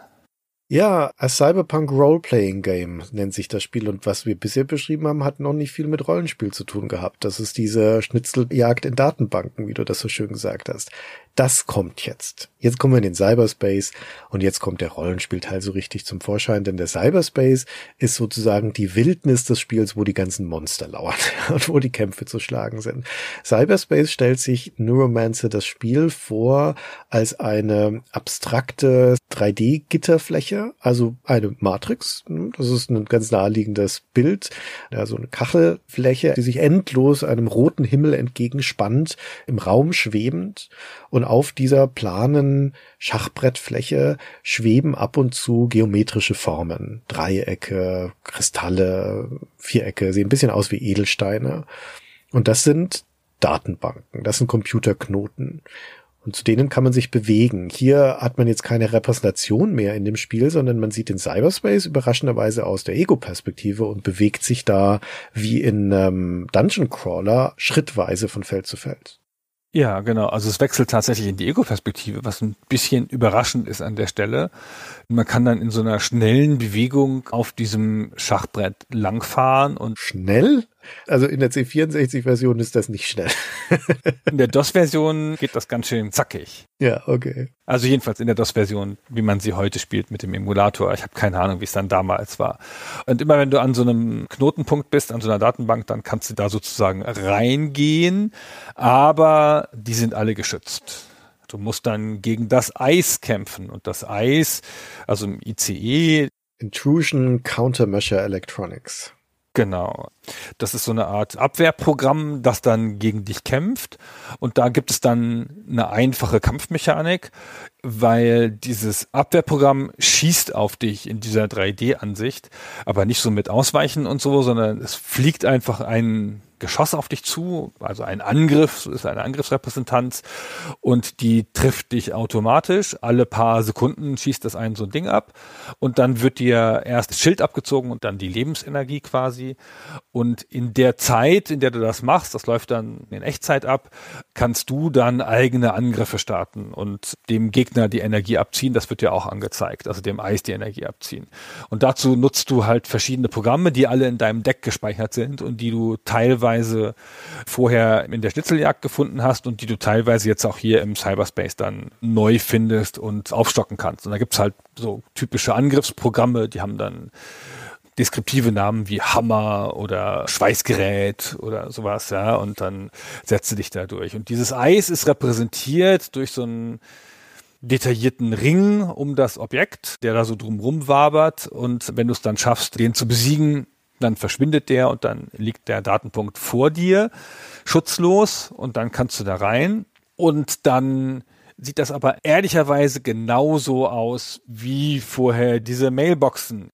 Es ist das gleiche, es ist eine höhere Zugangsstufe, die du da bekommst. Genau, sind es auch die genau die gleichen Sachen, nur dass du jetzt ein paar mehr Menüpunkte hast, ja. Ja, genau. Der Gedanke ist, dass du über den Cyberspace einen tieferen Zugriff auf das System bekommst. Und damit mehr Handlungsmöglichkeiten in dieser Datenbank. Repräsentiert ist das im Spiel einfach dadurch, dass ein, zwei Menü-Items mehr aufploppen und du dann halt etwas einsehen kannst, also zum Beispiel E-Mails einsehen kannst, die du vorher nicht einsehen konntest. Also E-Mails, sage ich, elektronische Nachrichten. Das ist aber auch schon alles. Das ist so als konzeptionelle Vorstellung davon, was Hacken bedeutet und was auch ein tiefer Zugriff auf eine Online-Datenbank bedeutet, ist das sehr dürftig, würde ich sagen, oder sehr rudimentär. Ich kann etwas vorher Verstecktes jetzt sehen. Ende. Ja, also so detailliert war es bei Gibson nicht beschrieben, aber so die spätere Romane des Cyberpunks, die machen dann auch schon deutlich, dass das eine real anmutende Welt sein kann. Ja, weil das visualisiert sich ja dann in deinem Kopf, weil du ja diesen direkten Zugang hast dazu. Und hier ist das schon sehr abstrakt.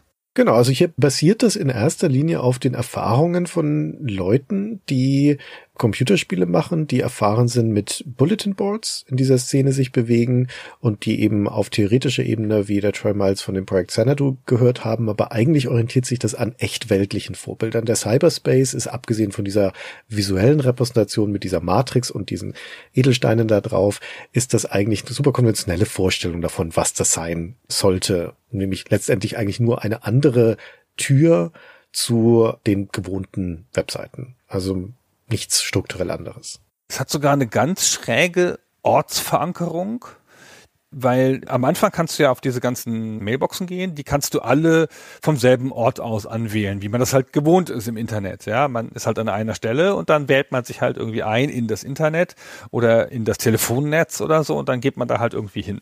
Und hier ist es so, dass verschiedene Cyber-Zugangspunkte, in die man sich einjackt mit seinem Kabel wahrscheinlich, das dann in den Hinterkopf gesteckt wird oder ins Deck, dass die zu bestimmten unterschiedlichen Stellen im Cyberspace führen, in der Matrix führen und dass da so Grenzen bestehen zwischen den Sektoren der Matrix und dass man die sozusagen in der Echtwelt umgehen kann.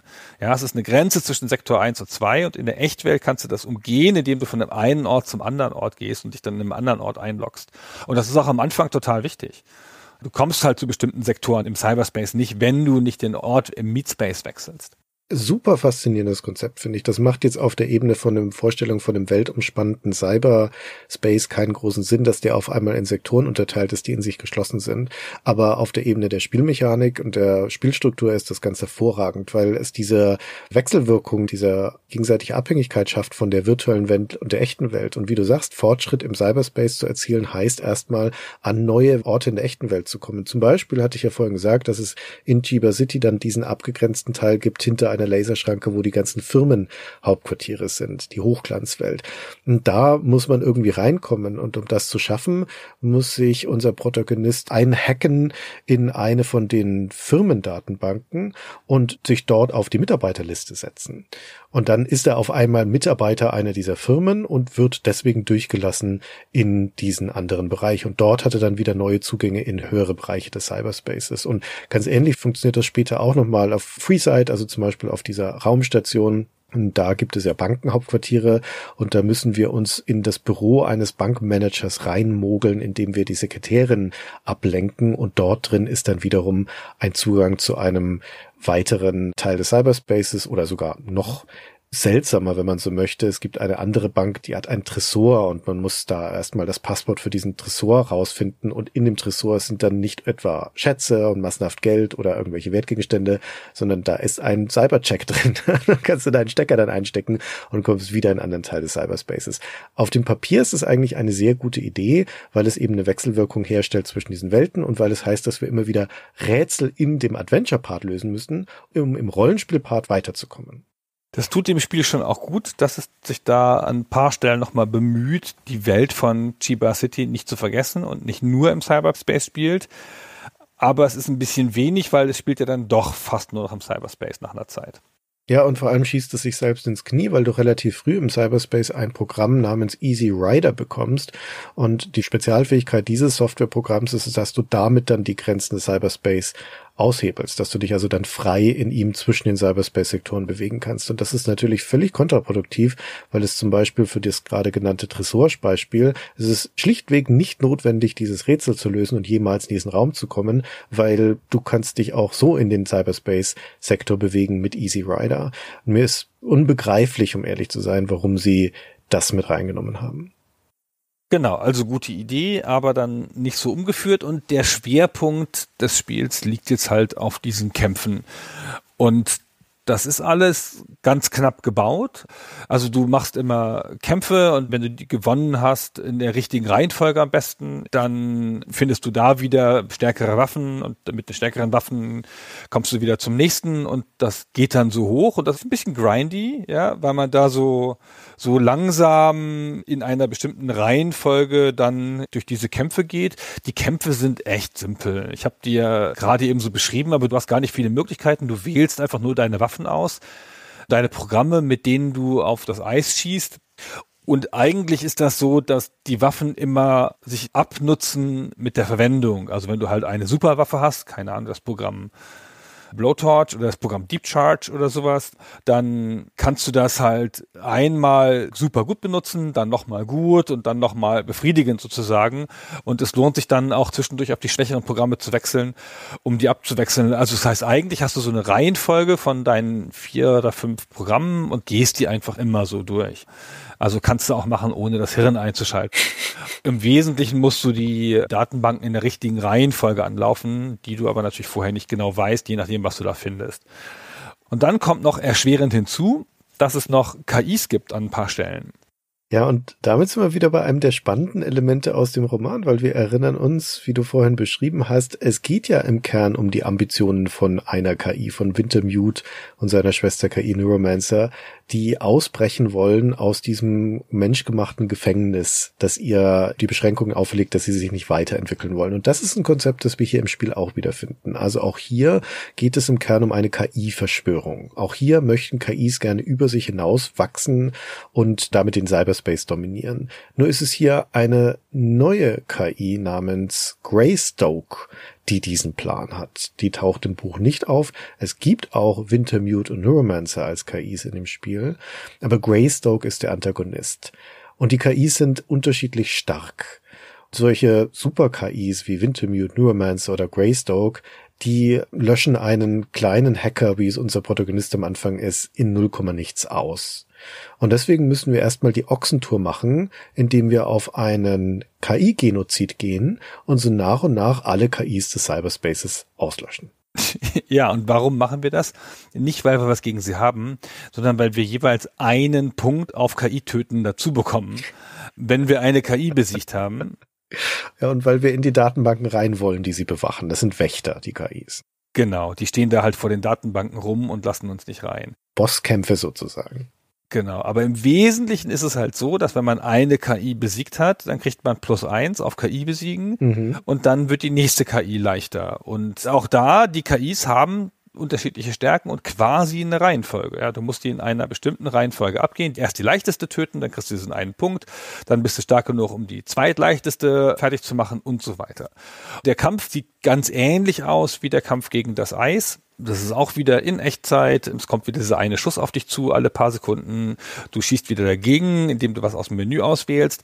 Aber diesmal sind es keine Programme, die gegen das Eis gehen, sondern diesmal sind es Skills, die du teilweise schon am Anfang des Spiels irgendwo gekauft hast. Und zwar so Skills wie Sophisterei, Philosophie, Logik. Logik, genau, Phänomenologie. Also alles solche Sachen, eher so intellektuelle Fertigkeiten. Bin nicht ganz sicher, wie sich das Spiel das denkt, ob du dann da mit dieser KI philosophische Gespräche führst oder ob das einfach eine Waffe ist auf irgendeine Art, aber es ist ja eigentlich ein Skill. Ich nehme mal zugunsten der Fantasie an, dass du, wenn du Logik einsetzt, dass dem der KI ein unschlagbares logisches Argument vorsetzt, mit dem sie dann irgendwie zurechtkommen muss. Aber es funktioniert genauso wie diese Angriffsprogramme gegen das Eis. Das löst so einen Schuss aus und das beschädigt die KI. Es gibt ja eine Situation, wo man sich vielleicht so eine Art Annäherung vorstellen kann, weil wir gegen eine Schach-KI mal antreten. Und da ist dann Logik diejenige Angriffsart, die dir ermöglicht, also dann in den Kampf zu treten mit dieser KI. Und da kann man sich vielleicht vorstellen, dass wir da so eine Art Schachduell ausfechten mit der, auch wenn es das in der Praxis nicht ist, weil wir sie auch mit philosophischen Argumenten zum Beispiel angehen dann in der Folge. Also ich glaube, es ist einfach Quatsch. Ja, das ist ein Äquivalent zu Zaubersprüchen sozusagen, wird KI Beschädigungszaubersprüchen und was anderes ist das nicht. Ja, die haben keine spezifische Funktion und Logik und Philosophie unterscheiden sich auch nicht. Ja, du wendest sie halt beide an und sie richten halt beide Schaden an. Aber wie schön das gewesen wäre, wenn das tatsächlich textuelle wäre.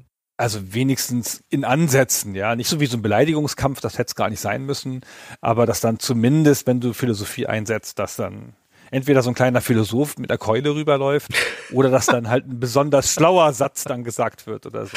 Ja, genau, das wäre schön. KIs haben alle eine Schwäche, sind alle auf eine deiner Fertigkeiten anfällig. Manche sind mehr anfällig für Logik und manche sind mehr anfällig für Philosophie und so. Und das ist auch ein Teil davon, das musst du halt rausfinden. Dafür hast du so ein Skill namens Psychoanalyse. Damit kannst du die vorher scannen, du kannst es aber auch einfach ausprobieren und die geben immer zu erkennen, wenn du ihre Schwäche gefunden hast, dann sagen sie irgendwas Verbiestertes. Und ab da sind sie dann erst überhaupt richtig verwundbar. Vorher ist das halt nicht so. Aber das ist jetzt auch keine große Hürde in diesem sehr mechanischen Kampf. Du gehst da einfach so durch, ohne viel Hirn. Ja, also der Rollenspielpart ist eine stetige Progression über diese Kämpfe, dadurch, dass wir bessere Ausrüstung finden in den Datenbanken und ein paar unserer Skills durch die Kämpfe steigen und dann tötet man sich so hoch die KI-Leiter nach oben. Und am Ende stehen Greystoke Wintermute und Neuromancer. Und überraschenderweise ist Wintermute der große Antagonist des Buches von diesen dreien die erste KI, die wir kommentarlos abmurksen. Ja, die steht im Weg, die wird von uns einmal schnell ohne weitere Gedanken umgebracht und ist dann weg. So, dann sind noch die anderen beiden da. Greystoke stellt sich dann raus, stirbt unter unseren Cyberangriffen auch relativ easy. Greystoke stirbt aber auch nur, weil wir vorher einer anderen KI das Greystoke Tötungsprogramm abgenommen haben, das die halt da zufällig hatte, praktischerweise. Ja, also ein Angriffsprogramm, das nichts weiter kann als Greystoke töten. Das aber einigermaßen zuverlässig. Ja. Nun, aber dann bleibt als der große Gegenspieler des Spiels am Ende Neuromancer übrig. Ganz anders als im Roman.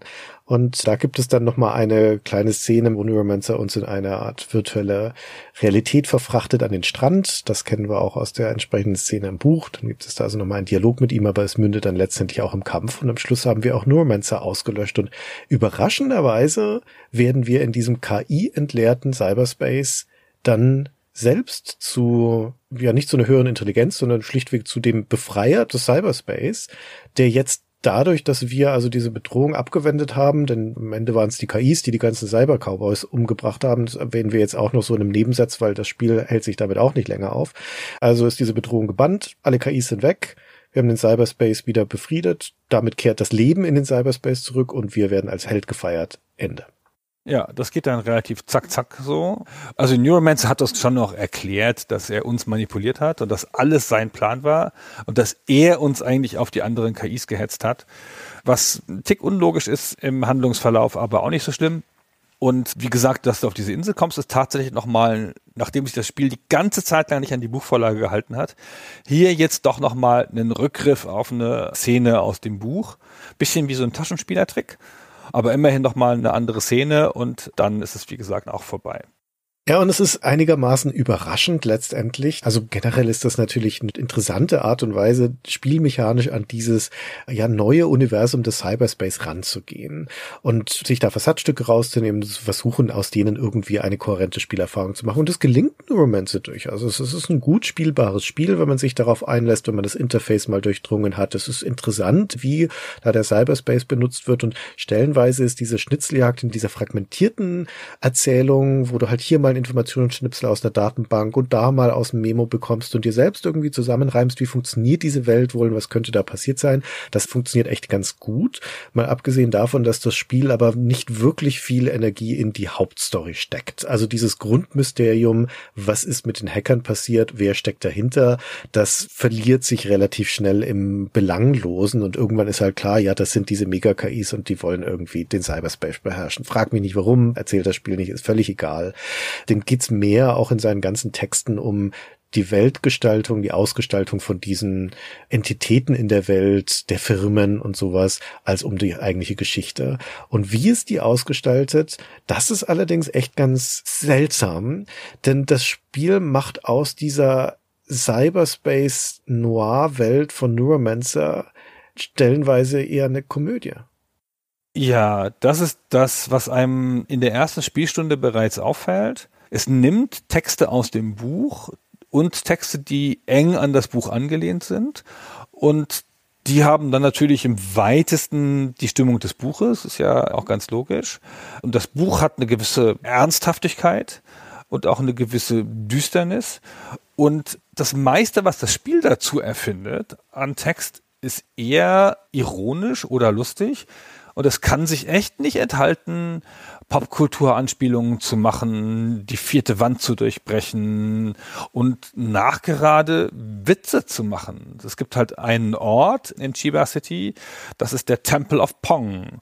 Und da stehen so irre Mönche rum, die beten das Spiel Pong an. Das ist ihr Ding, ja, das ist das heilige Spiel. Und dann können sie aber jetzt nicht mehr Pong spielen, weil nämlich einer von ihren beiden Joysticks ist kaputt. Und dann hast du den Auftrag, den heiligen Joystick da zu finden.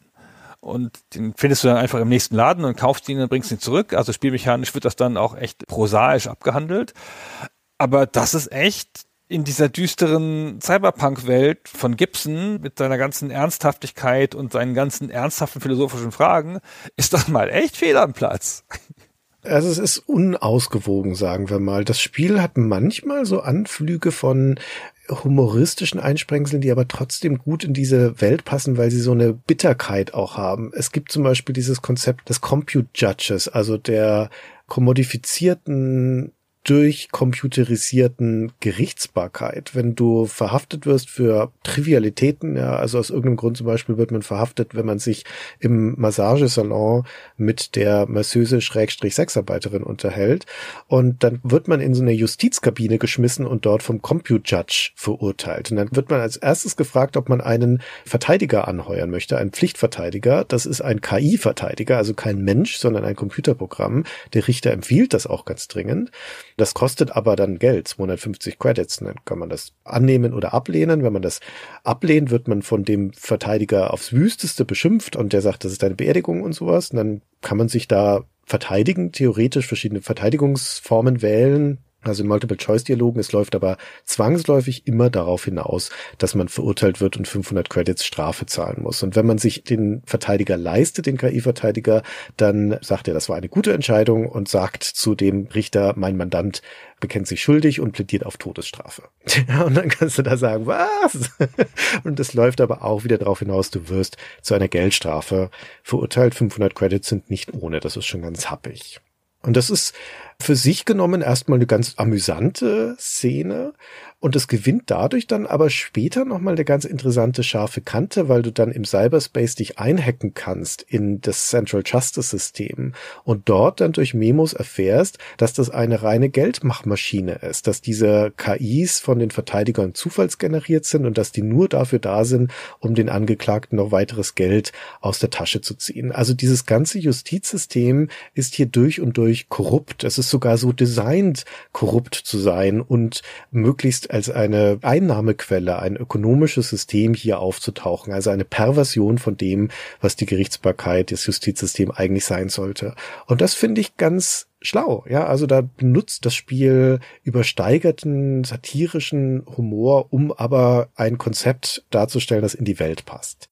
Das ist insbesondere schön, weil es ja eine Verankerung in der Welt hat. Und du nicht nur in Texten im Cyberspace davon erfährst. Das hat noch ein paar andere Schlüsse dieser Art und auch ein paar andere interessante Konzepte, teilweise aus dem Buch und teilweise nicht.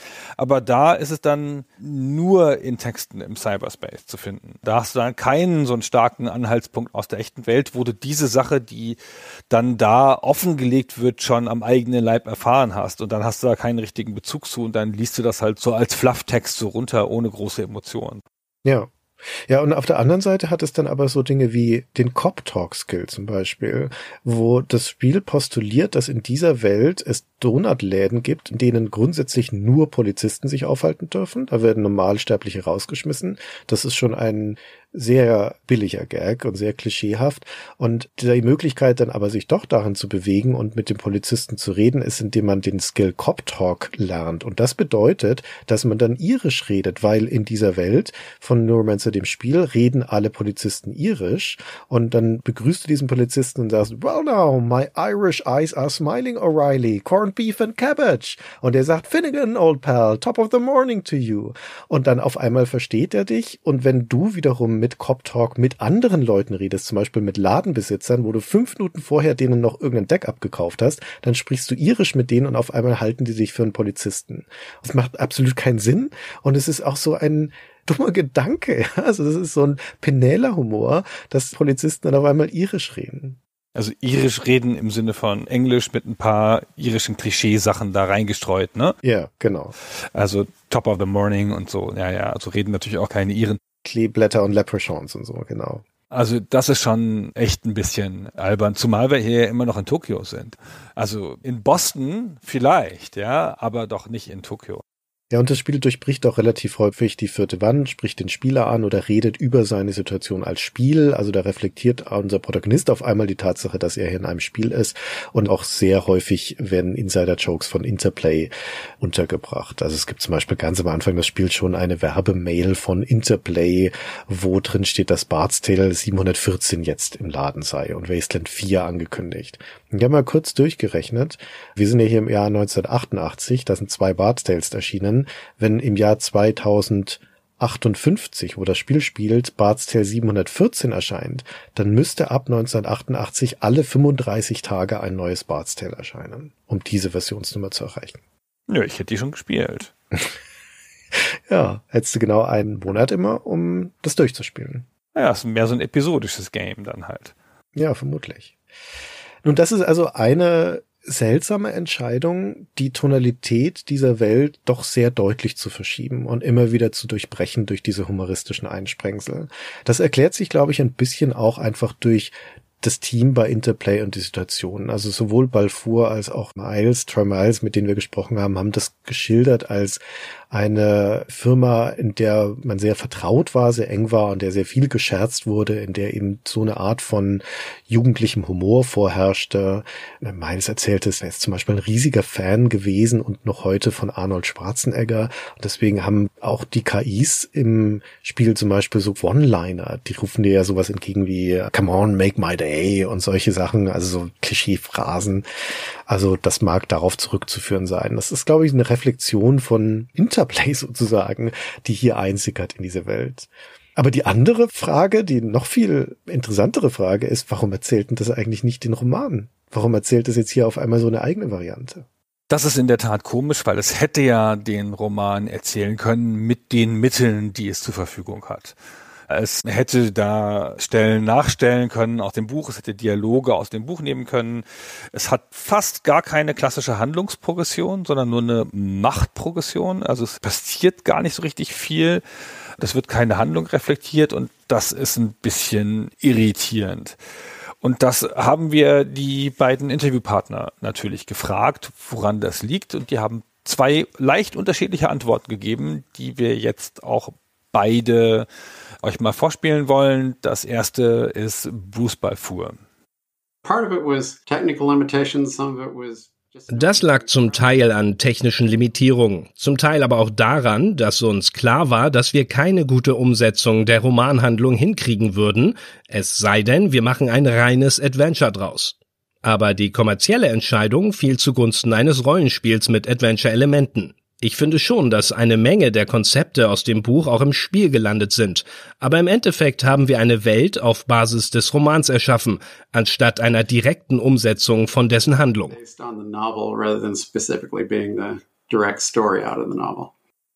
Also der meint, es hätte zum Teil technische Limitationen gehabt und jetzt hören wir uns zur Ergänzung nochmal Try Miles an.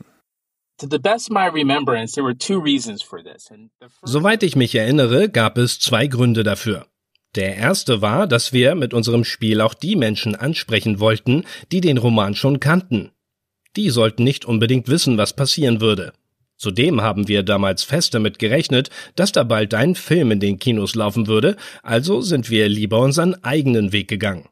Aber ich denke, da gab es auch noch eine klitzekleine Sorge, zumindest bei Brian und mir, dass wir die Lizenz vielleicht doch noch verlieren könnten und dann alles im Spiel hätten umbenennen müssen. We might lose the rights at some point and we might have to rename everything in this game. Ja, das erscheint mir sehr schlüssig, die Begründung von Trey Miles. Ja, sowohl der Wunsch, sich von dem potenziellen Film abzugrenzen, von dem sie ja noch annehmen mussten, dass der bald kommt, als auch die Sorge, naja, vielleicht wird es doch nichts und das ganze Filmprojekt bricht zusammen und unsere Lizenz ist weg. Aber machen wir mal lieber was, was man auch austauschen könnte. Erscheint mir völlig schlüssig. Ja, das finde ich auch. Aber am Ende waren ja die ganzen Namen drin. Und das ist ein bisschen irritierend. Was total leicht gewesen wäre, was ich irgendwie schöner gefunden hätte, ist, wenn Greystoke Wintermute gewesen wäre. Ja. Also Wintermute gibt es ja im Buch als den Protagonisten und der kommt ja auch im Spiel vor, sitzt da halt stumm rum, wie du schon gesagt hast. Und die handelnde KI hier ist Greystoke und das hätte man einfach tauschen können. Und dann wäre es ein Tick näher am Buch gewesen. Also ein Tick auch nur, ne? Ja, wobei, ich meine, nachdem der Rest der Handlung sich nicht mit dem Buch beschäftigt, das ist auch schon egal an dieser Stelle. Ja, das stimmt. Also es macht jetzt, glaube ich, keinen so großen Unterschied. Würde dem Spiel auch überhaupt nicht vorwerfen, dass es sich nicht an dem Roman orientiert. Das ist eine völlig legitime Entscheidung. Dementsprechend gar kein Problem damit. Das Spiel erzählt halt eine sehr schwache Handlung, wenn man überhaupt davon reden kann, dass es eine Handlung erzählt. Wie gesagt, es konzentriert sich viel mehr auf Weltgestaltung und Worldbuilding als auf das eigentliche Erzählen einer Geschichte. Gibt ja auch keinen nennenswerten anderen Figuren in dem Spiel, die irgendwie eine bedeutende Rolle hätten. Also die ganze Welt, auch das ist für ein Adventure natürlich ein bisschen schade. Die gesamte Welt, sowohl der Cyberspace als auch die reale Welt sind völlig statisch. Da verändert sich nie was, da bewegt sich eigentlich nichts und das ist insbesondere augenfällig, weil das Spiel aber eine Echtzeitkomponente hat. Das hat eine Uhr, die die ganze Zeit weiterläuft. Also es gibt nominell Tageszeiten und so. Das einzige, was sich in Abhängigkeit von der Tageszeit ändert, das einzige im ganzen Spiel ist, dass manchmal am Straßenzug eine Sexarbeiterin auftaucht zu bestimmten Tageszeiten und an anderen Seiten ist sie wieder weg. Und die ist aber völlig optional. Die bringt dir nichts weiter. Da kannst du zwar ein paar Dialoge mit dir führen, aber das ist nichts, was relevant wäre für den Fortschritt im Spiel. Und ansonsten ist die Zeit egal. Ja, die Geschäfte haben immer auf und die Roboter sind immer da, die die Straßen bewachen und so. Die Gebäude sind immer auf, das ändert sich alles nicht. Ist es auch nicht so schlimm natürlich, ja. Ich will auch nicht in einem Adventure noch Tageszeiten haben, die Läden absperren, so. Aber es ist ein bisschen verwunderlich, dass diese Komponente überhaupt drin ist, weil sie so ganz offenkundig nicht genutzt wird. Vielleicht ein Relikt aus irgendwas. Ja, möglicherweise hat das mit der Entwicklungsgeschichte oder mit der Entwicklungsart zu tun des Spiels, denn wir haben ja schon gesagt, es gab einen Programmierer für das Spiel, der alles machen musste, den Troy Myers und Neuromancer ist ungefähr ein Jahr in der Entwicklung gewesen. Und es ist typisch für die Zeit, dass dann über weite Strecken der Entwicklung und gerade zum Ende hin ein harter Crunch vorherrschte.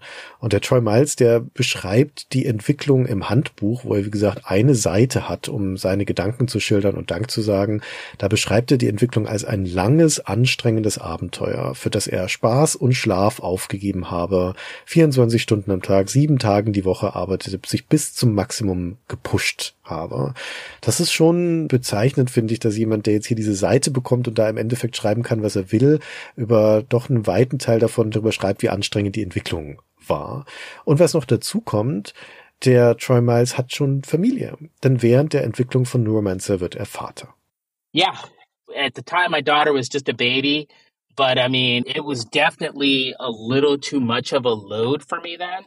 Ja, meine Tochter war zwar noch ein Baby, aber das war definitiv ein bisschen zu viel Belastung für mich. Wir haben damals normalerweise ein Jahr lang gebraucht, um ein Spiel fertigzustellen. Es war sehr viel besser. Na Moment, ich muss vorsichtig sein, wie ich das formuliere. Spieleprogrammierung ist besser, wenn man Single ist. Nicht das Leben ist besser, wenn man Single ist, aber Spieleprogrammierung ist dann einfacher.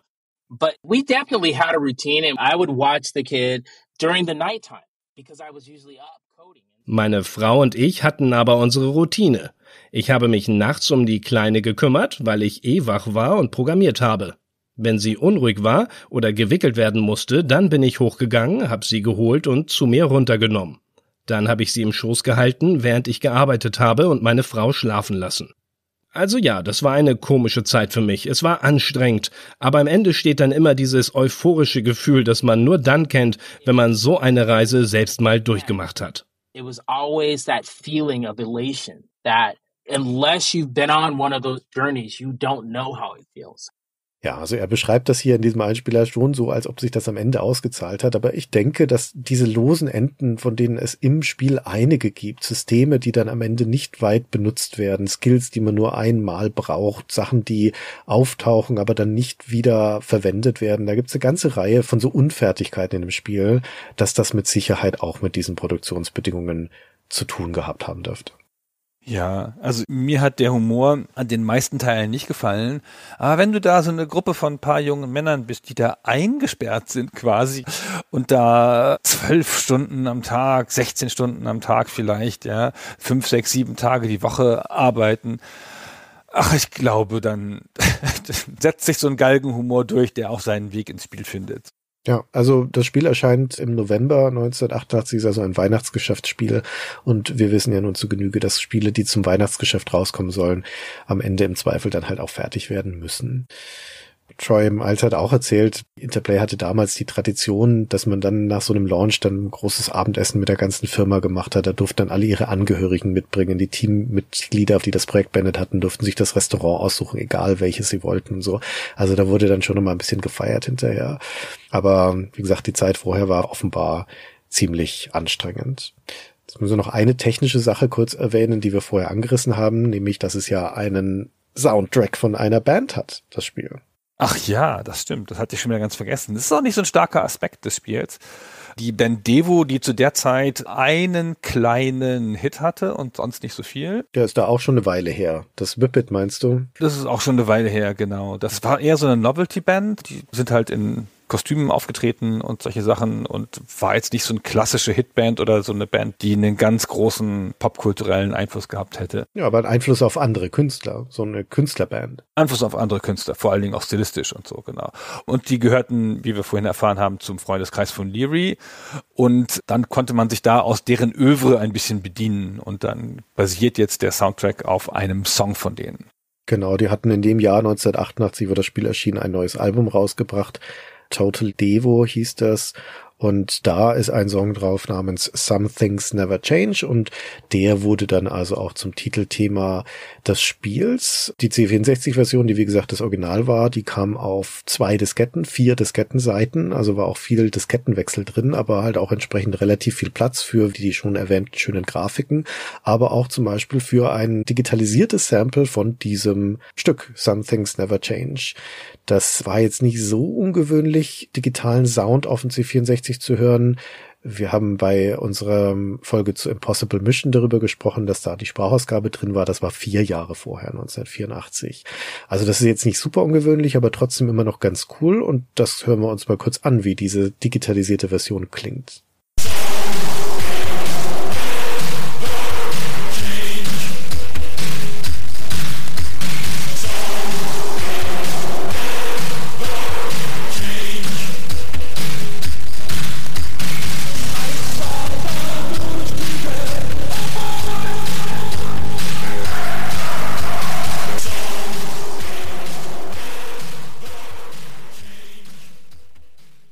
Im Spielverlauf selbst wird dann ab und zu auch nochmal dieses Stück eingespielt, aber jetzt nicht mehr gesampelt, sondern als SID, also mit dem Soundchip des C64 abgespielt und auch das können wir uns nochmal anhören und ich habe hier im Vergleich nochmal das Originalstück von Devo dazu geschnitten, so dass man auch hören kann, wie das im Original klingt.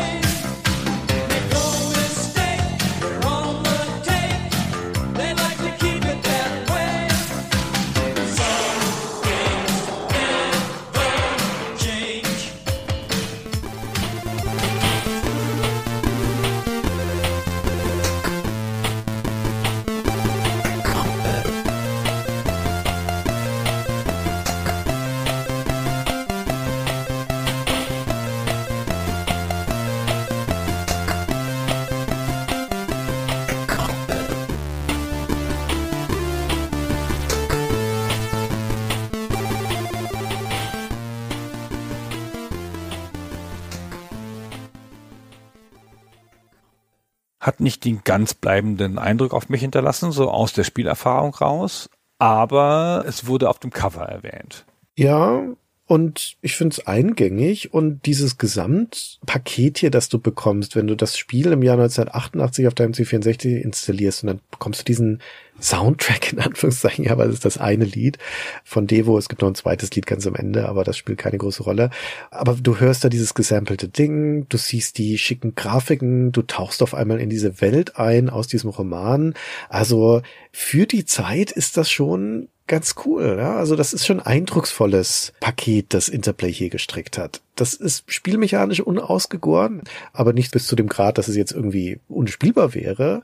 Ja, und dass es halt einfach so ein paar Hänger hat und das ist seine Geschichte nicht sonderlich gut erzählt. Aber insgesamt ist das für seine Zeit schon ein eindrucksvolles Programm gewesen.